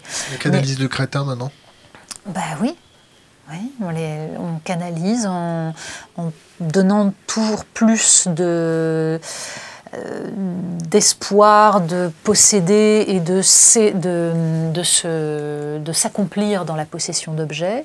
On essaye de gérer la frustration née du spectacle de la consommation par ceux qui ne peuvent pas y accéder. On essaye de, euh, de réguler en dictant des comportements et en expliquant aux gens ce qu'ils doivent faire par une forme de catéchisme euh, qui est le contraire de la pensée démocratique. Enfin, c'est tout ça qui est en train de, se passer.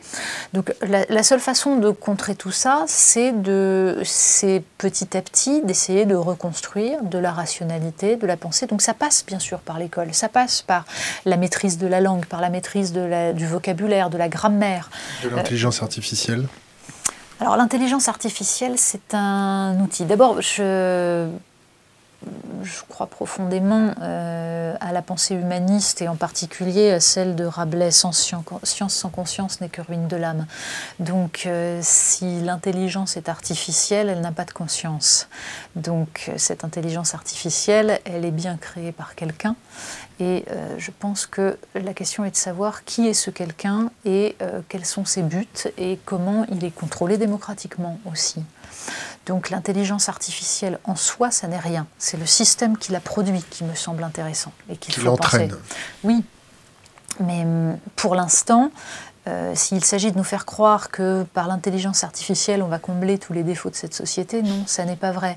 Bien au contraire, on risque de créer un cauchemar encore plus grand.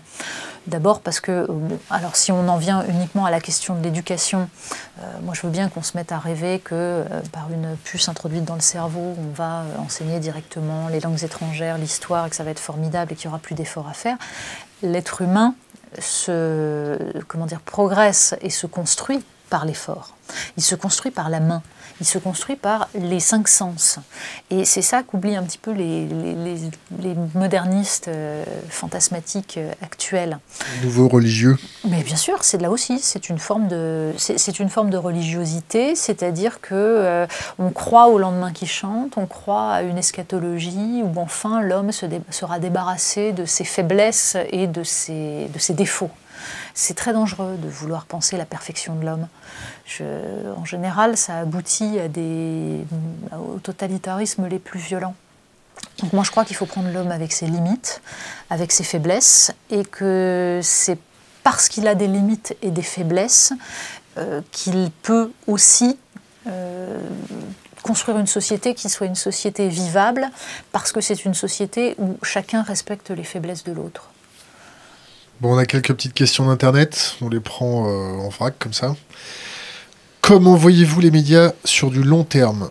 Point d'interrogation. Votre vision du monde dans 10 ans, dans 20 ans?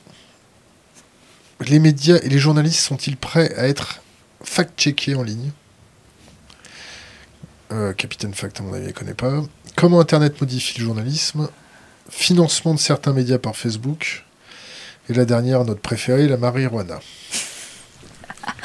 Alors, pour ce qui est de la question des journalistes euh, et de leur fact-checking, je ne les prends pas dans l'ordre, mais euh, je vais essayer de toutes les, faire. Euh, encore une fois, la question du fact-checking, elle est très intéressante si on en comprend les limites. C'est-à-dire qu'un journaliste ne parle pas que des faits, il ne faut pas croire.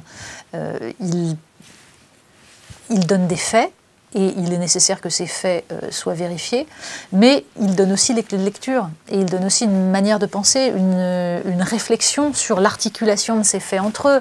Donc tout ne relève pas du fact-checking, on ne va pas sauver le journalisme par le fact-checking.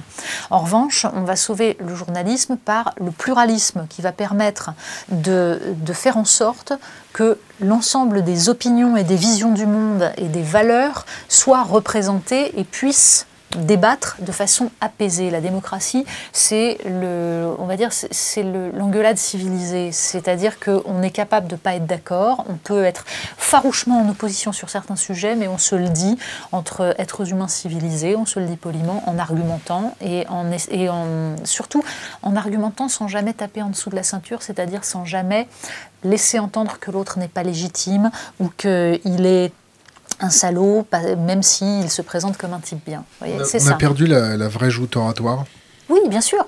À partir du moment où on refuse cette idée qu'on va débattre argument contre argument honnêtement, voilà, on perd la capacité. C'est pas seulement de la joute oratoire, encore une fois. Il y a un enjeu, de, il y a un enjeu politique majeur là-dedans. C'est la capacité à faire émerger le bien commun à travers l'opposition des idées, des visions du monde. Or, le journalisme doit participer à ça. C'est pour ça que je ne crois pas qu'on va sauver le journalisme par les faits, l'objectivité. L'objectivité, ça n'existe pas. À partir du moment où vous racontez un fait, vous êtes déjà dans la subjectivité. Alors, pour que euh, un journaliste puisse faire son travail correctement, il doit déjà maîtriser le langage, c'est-à-dire qu'il doit avoir conscience de sa propre subjectivité dans son langage. Il, doit savoir que le choix de tel mot plutôt que tel autre implique une lecture des faits, et donc il doit le faire en toute conscience. C'est-à-dire qu'il ne doit pas se, euh, employer un mot pour un autre en s'imaginant que ça n'a pas d'importance. Touche pas à mon poste, ça vous fait penser à quoi? Euh, ça me fait penser à. ça me fait penser à l'ensemble de ce qui aujourd'hui euh, construit un système euh, consumériste où la télévision, la publicité, la grande distribution fonctionnent en boucle. C'est-à-dire que on est dans euh, comment dire, dans cette phrase de Patrick Lelay qui euh, résume l'époque, euh, mon travail est de mettre, de vendre à Coca-Cola du temps de cerveau humain disponible. Bon, bah, tant qu'on concevra les rapports entre télévision, publicité et grande distribution de cette façon-là, on sera dans l'aliénation. Donc. C'est du pain et des jeux? Oui, bien sûr que c'est du pain et des jeux, bien sûr, bien sûr. Et ça n'est pas, euh, comment dire, ça n'est pas jeter l'opprobre sur le, divertissement que de dire ça, dans la mesure où je disais tout à l'heure que il, faut aller, il faut aussi aller chercher les gens là où ils sont. Et que j'ai eu des débats, moi, au moment où j'ai accepté euh, d'aller On n'est pas couché, au moment où j'ai accepté d'aller bosser chez Ardisson. J'ai eu des débats avec des, des, des, gens que, que je respecte profondément et qui me disaient c'est du divertissement. Euh, la question, c'est ce qu'on y fait aussi.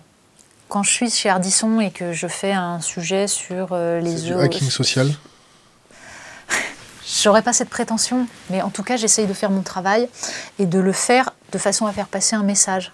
Vous voyez, quand je lutte contre l'industrialisation de l'agriculture, en essayant de faire comprendre aux gens les enjeux, l'antibiorésistance, ce qui est un sujet absolument majeur parce que ça peut provoquer des catastrophes euh, sanitaires, bon, bah, je fais ça dans une émission de divertissement mais c'est à une heure de grande écoute où il y a des gens qui vont écouter. Et s'il y en a quelques-uns qui tout à coup se disent ça c'est un sujet important, je vais aller me renseigner là-dessus, eh ben j'ai gagné je pense que j'ai au moins essayé de faire quelque chose, c'est tout. Euh, je, mais évidemment qu'on peut aussi considérer que c'est une caution au système. On peut, oui. C'est un débat qu'il faut avoir en permanence et qu'il faut avoir avec soi-même en permanence. Comment Internet a modifié le journalisme? Alors, hélas, pas en, enfin, pas en bien. C'est-à-dire que Internet aurait pu modifier le journalisme en bien, dans le sens où euh, il y a une... Euh, c'est un défi qui est lancé et le, fait que les gens aillent vers des médias alternatifs sur Internet, c'est parce qu'il y a eu un naufrage des médias, euh, des, médias classiques. Donc euh, simplement. Et sur des médias russes Oui, mais bien sûr. Mais tout, tout. Il y a une, il y a une, comment dire, il y a une volonté de la part du public d'aller chercher l'information euh, là où elle peut être, parce qu'elle n'est plus là où elle devrait être. Là où ça sent moins le ronron.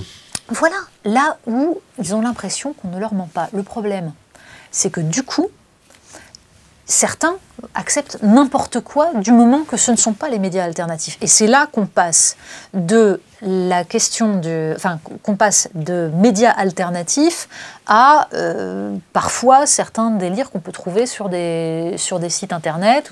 Donc c'est pour ça qu'il faut travailler toujours à faire en sorte que il y a une interrogation sur la qualité de l'information, sur les sources, voilà. Mais c'est au public de juger. Moi, je ne suis pas pour une interdiction de tel ou tel. je, je, trouve profondément dangereux qu'on puisse d'en haut décider ce qui relève d'un bon média ou d'un mauvais. Il y a aujourd'hui une recherche d'informations alternatives de la part d'un public qui a l'impression qu'on lui ment. Bon, ben, arrêtons de lui donner l'impression qu'on lui ment.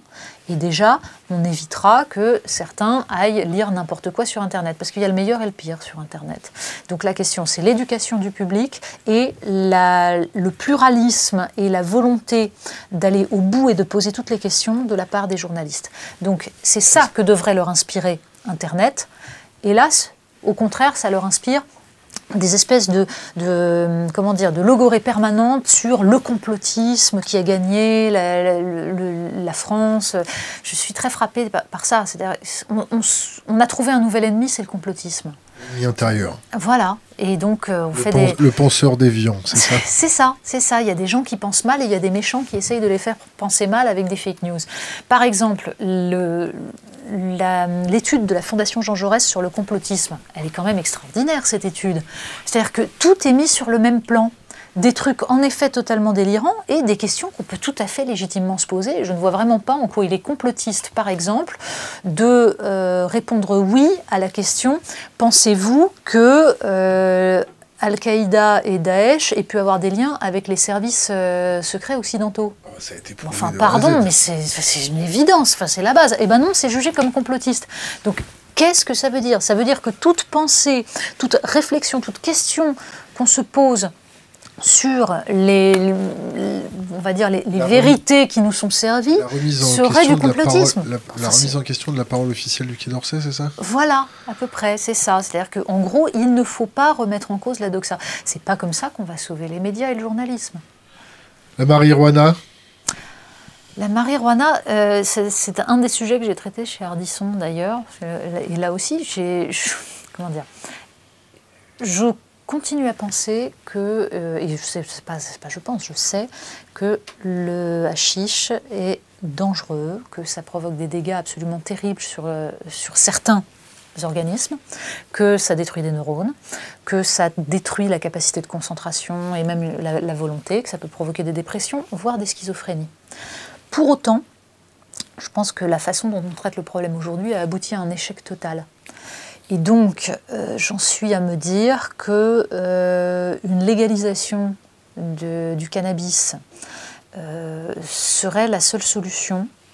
Je ne prétends pas en être sûr, je peux me tromper. Mais autant euh, les amendes telles qu'elles sont mises en place, c'est une foutaise, ça permet juste de rapporter un peu d'argent, mais le problème reste entier. La dépénalisation, le problème resterait totalement entier, puisqu'on continuerait à alimenter des trafics et à confronter des jeunes gens avec des caïds qui tiennent des, des quartiers, donc je ne vois pas l'intérêt. En revanche, une légalisation et là, c'est mon côté euh, régulateur qui intervient, c'est-à-dire une légalisation avec monopole de l'État qui contrôle toutes les filières et qui, a, euh, qui met en place un fonctionnement un peu comme pour la CETA. Je me dis que ça peut permettre de sauver les pluralistes. voilà, de sauver les pluralistes, accessoirement. Avant tout, de, de savoir euh, ce qu'il y a dans le cannabis qu'on achète, euh, donc d'éviter les cochonneries qui sont foutues dedans. Donc c'est une question de santé publique. Ça permet de mettre en place une véritable prévention, parce que pour l'instant, comme c'est interdit, on ne fait pas de prévention. Donc il n'y a rien, il n'y a aucun discours, euh, notamment à destination des jeunes pour leur expliquer à quel point c'est dangereux. Comme l'alcool. Comme voilà, comme l'alcool, exactement.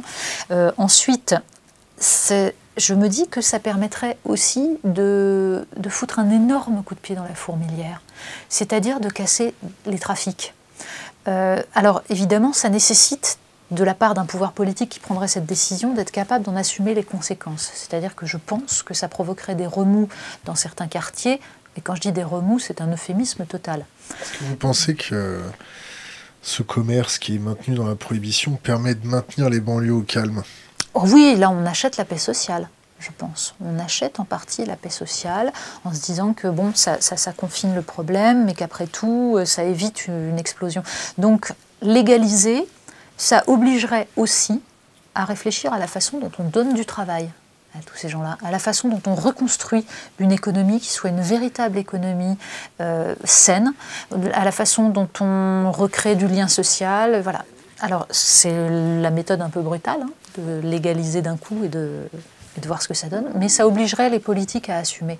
Parce que pour l'instant, il y a quand même une hypocrisie absolue. Quand j'entends des, maires qui disent Ah oui, mais quand euh, il y a une descente euh, de police dans tel quartier où il y a du trafic, on voit que euh, certains enfants vont plus à la cantine dans les jours qui viennent parce que les familles n'ont plus de quoi payer. Je veux dire, on accepte ça on accepte que des enfants grandissent avec l'idée que leur seule façon de s'en sortir dans la vie, c'est de participer à ces trafics, que finalement ça devient une référence.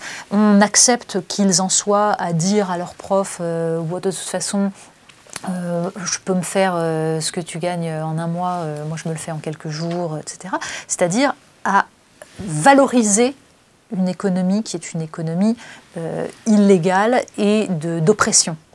Donc je pense qu'il euh, faut absolument cesser euh, cette, hypocrisie qui pourrit la vie de, certaines, de, la majorité des gens qui vivent dans ces quartiers, euh, qui les fait vivre parfois sous la terreur, et que c'est inacceptable. De, se dire que certains citoyens, sous prétexte qu'ils ont la malchance de vivre dans des quartiers qui sont des quartiers populaires, qui sont les plus pauvres, eh bien, doivent supporter cette, cette terreur.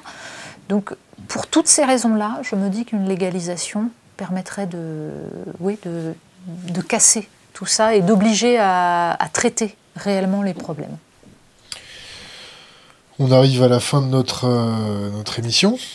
Euh, avant de vous poser la question euh, classique et traditionnelle du Conseil pour les jeunes générations, en préparant l'émission, j'en ai deux, trois qui sont venus me voir concernant la polémique autour de votre salaire des 27 400 euros, si mes souvenirs sont bons.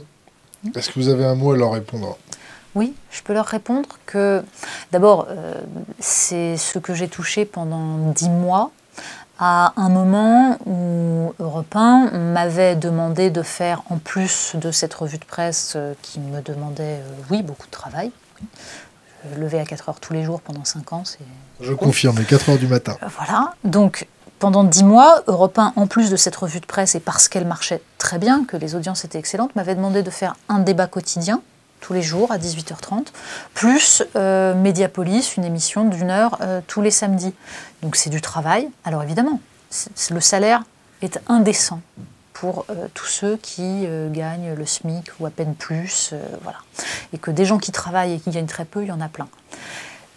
Les salaires dans l'audiovisuel euh, sont sans commune mesure avec euh, ce qu'il y a dans le reste du pays. Et c'est un système injuste, c'est vrai. En même temps, euh, pour ma part, quand je suis arrivée dans, avec mon petit salaire de presse écrite, au début, on m'a dit salaire de presse écrite, au moment où j'ai été embauchée à Europe 1, j'étais, voyons, je sais plus, je sais plus. J'ai commencé à Marianne à 2000 euros. Et petit à petit, j'ai progressé. Quand je suis arrivée au Figaro, euh, j'étais déjà payée euh, mieux. Et euh, voilà, j'ai commencé. Donc, je ne sais plus exactement, mais on est autour de. De 2000 balles, quoi. Alors plus, plus quand je suis arrivée à, quand, quand j'étais au Figaro, plus que ça. Et du coup, j'avais ce salaire-là au début pour ma revue de presse, parce que j'ai été embauchée. On m'a demandé, mais mais vous voulez être payé combien? Et moi, gentiment et bêtement, j'ai dit je voudrais ne pas y perdre par rapport euh, à ce que je gagnais au Figaro. Voilà. Et c'est après que j'ai compris ce que c'était que les salaires de l'audiovisuel et que c'était pas du tout pareil. Donc j'ai arrêté de négocier moi-même toute seule. Et euh, voilà. Et donc, petit à petit, comme les audiences étaient très bonnes, j'ai été augmentée jusqu'à ce prix-là. Oui. Et je comprends que ce prix-là soit considéré comme, euh, comme indécent. Euh, les salaires euh, des autres journalistes euh, en vue sont du même ordre ou plus. Genre qui? Bon, C'est sorti dans la presse, hein, voyons. Et, et, Europe 1 n'est pas philanthrope, hein. ils m'ont pas donné ça juste par gentillesse. De même d'ailleurs qu'ils m'ont jamais donné quoi que, ce soit par gentillesse, mais parce que, les audiences étaient très bonnes. De tenir les journalistes? De leur filer des, salaires mirobolants pour éviter qu'ils euh, mordent la main qui, nourrit bah, Vu la façon dont j'ai été, euh, été remerciée, on va dire, euh, je pense pas que qui que ce soit ait considéré que j'étais tenue. Peut-être pas assez, je ne sais pas. Mais c'est, disons que pour moi, je, fais mon travail comme je crois devoir le faire, c'est-à-dire le plus honnêtement possible et en, essayant de, faire passer des valeurs et des idées qui sont les miennes. Encore une fois, euh, ce salaire est indécent. J'essaye de, j'essaye qu'il ne soit pas donné pour rien, c'est-à-dire que je bosse, je fais pas, euh, je n'arrive pas les mains dans les poches, et ça ne m'empêche pas, ce salaire ne m'a pas empêché de dire ce que je pensais de, l'ensemble du système économique tel qu'il est. C'est-à-dire que, alors bien sûr, je, vais dire, à partir de quel, de quel salaire il fallait que je refuse? À partir de quel salaire il fallait que je dise, écoutez, c'est vrai, ne me donnez pas cet argent, donnez-le aux actionnaires du groupe Lagardère. Parce que c'est ça, si je n'avais pas accepté ce salaire-là, si je ne l'avais pas pris, l'argent, il n'était pas pour payer euh, la dactylo qui euh, travaillait avec moi et dont j'aurais préféré qu'elle soit mieux payée. Elle n'aurait rien gagné. Le technicien non plus, rien du tout. En revanche, les actionnaires du groupe, oui.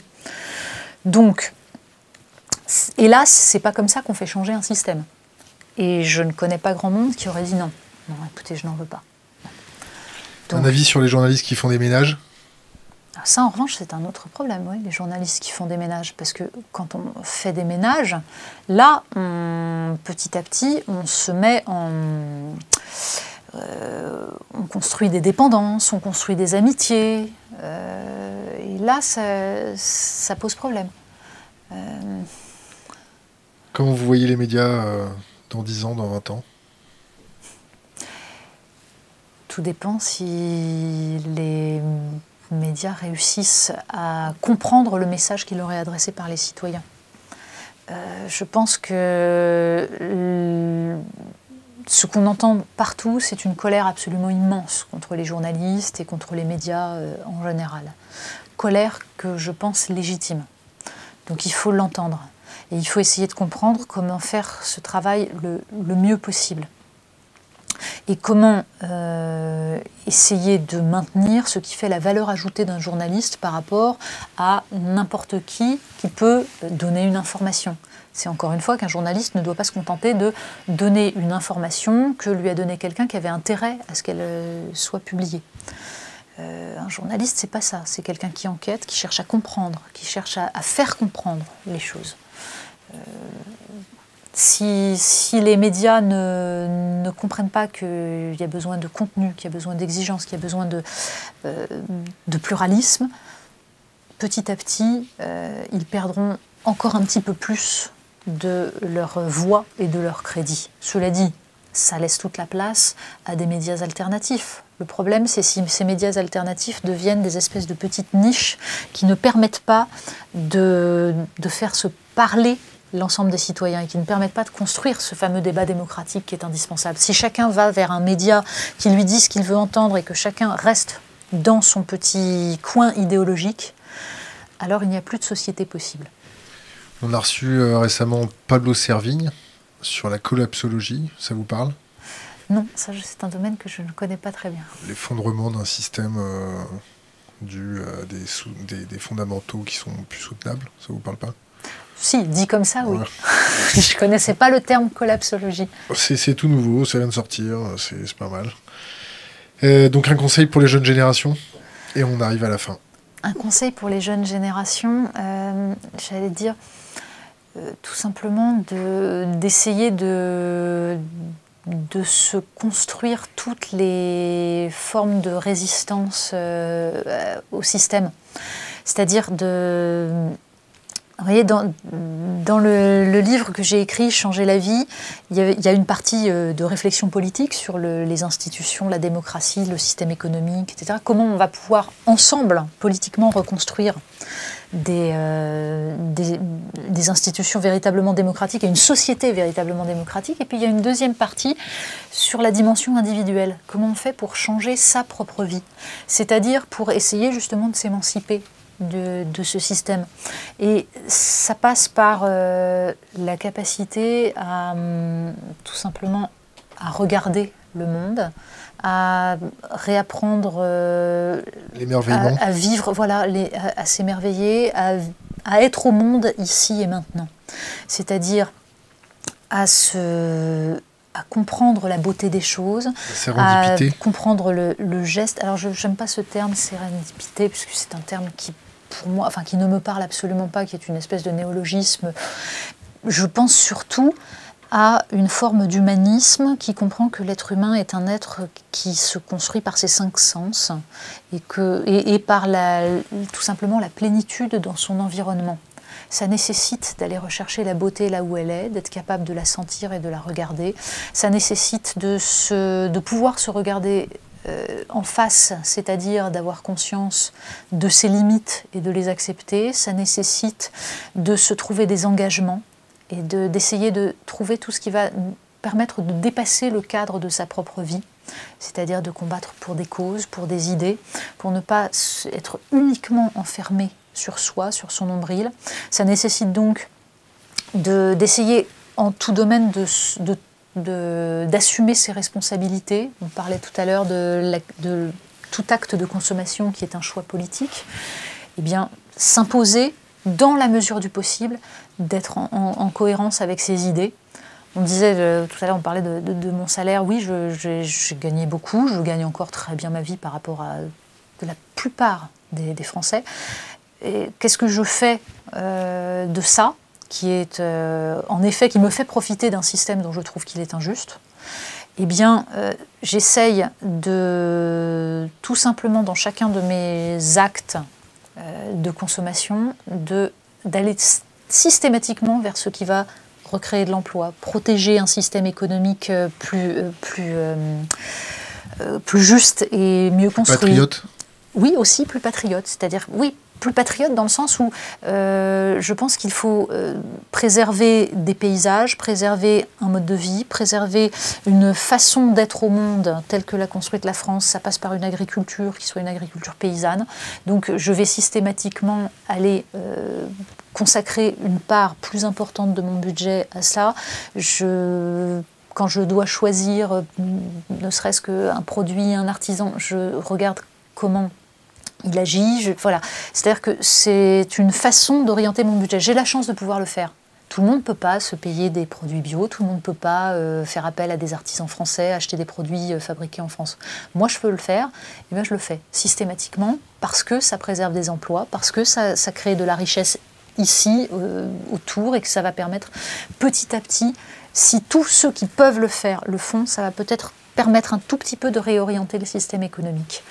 Voilà, donc c'est ma façon d'essayer d'être en cohérence avec ce que je crois. C'est une de mes façons, en plus de me battre pour des idées, pour, des, voilà, pour, pour un, système que je pense plus juste. On va pouvoir lancer notre euh, marque de hoodies euh, avec vous, Made in France. Oui. Un conseil pour les jeunes générations? Un conseil. Euh, lire et vivre et retrouver euh, un lien avec la nature. C'est-à-dire tout simplement aller de temps en temps regarder un brin d'herbe pousser, regarder euh, l'effet du froid et du gel sur, euh, sur un champ. Voilà. Y a rien. Une bonne bouteille de pinard. Voilà, et, la, et la, partager ah avec, avec des, des, amis et en parler, tout simplement. Parce que c'est surtout ça, c'est pour ça que je disais lire aussi, c'est-à-dire maîtriser les mots. Parce qu'en fait, l'être humain est un, être qui, à travers ses cinq, sens, crée du vécu. Et ce vécu, il en parle. C'est par les mots que ce vécu reste et devient euh, ce qui nous construit, ce qui fait notre mémoire. Donc oui, ouvrir une bonne bouteille de vin, partager un repas et parler de cette expérience et la partager. C'est tout ça, la vie, euh, dans ce de, de plus beau. Et c'est ça qui, va, qui, permet à chacun de se sentir exister et, de, et tout simplement d'être, de profiter un petit peu de ce, de ce monde.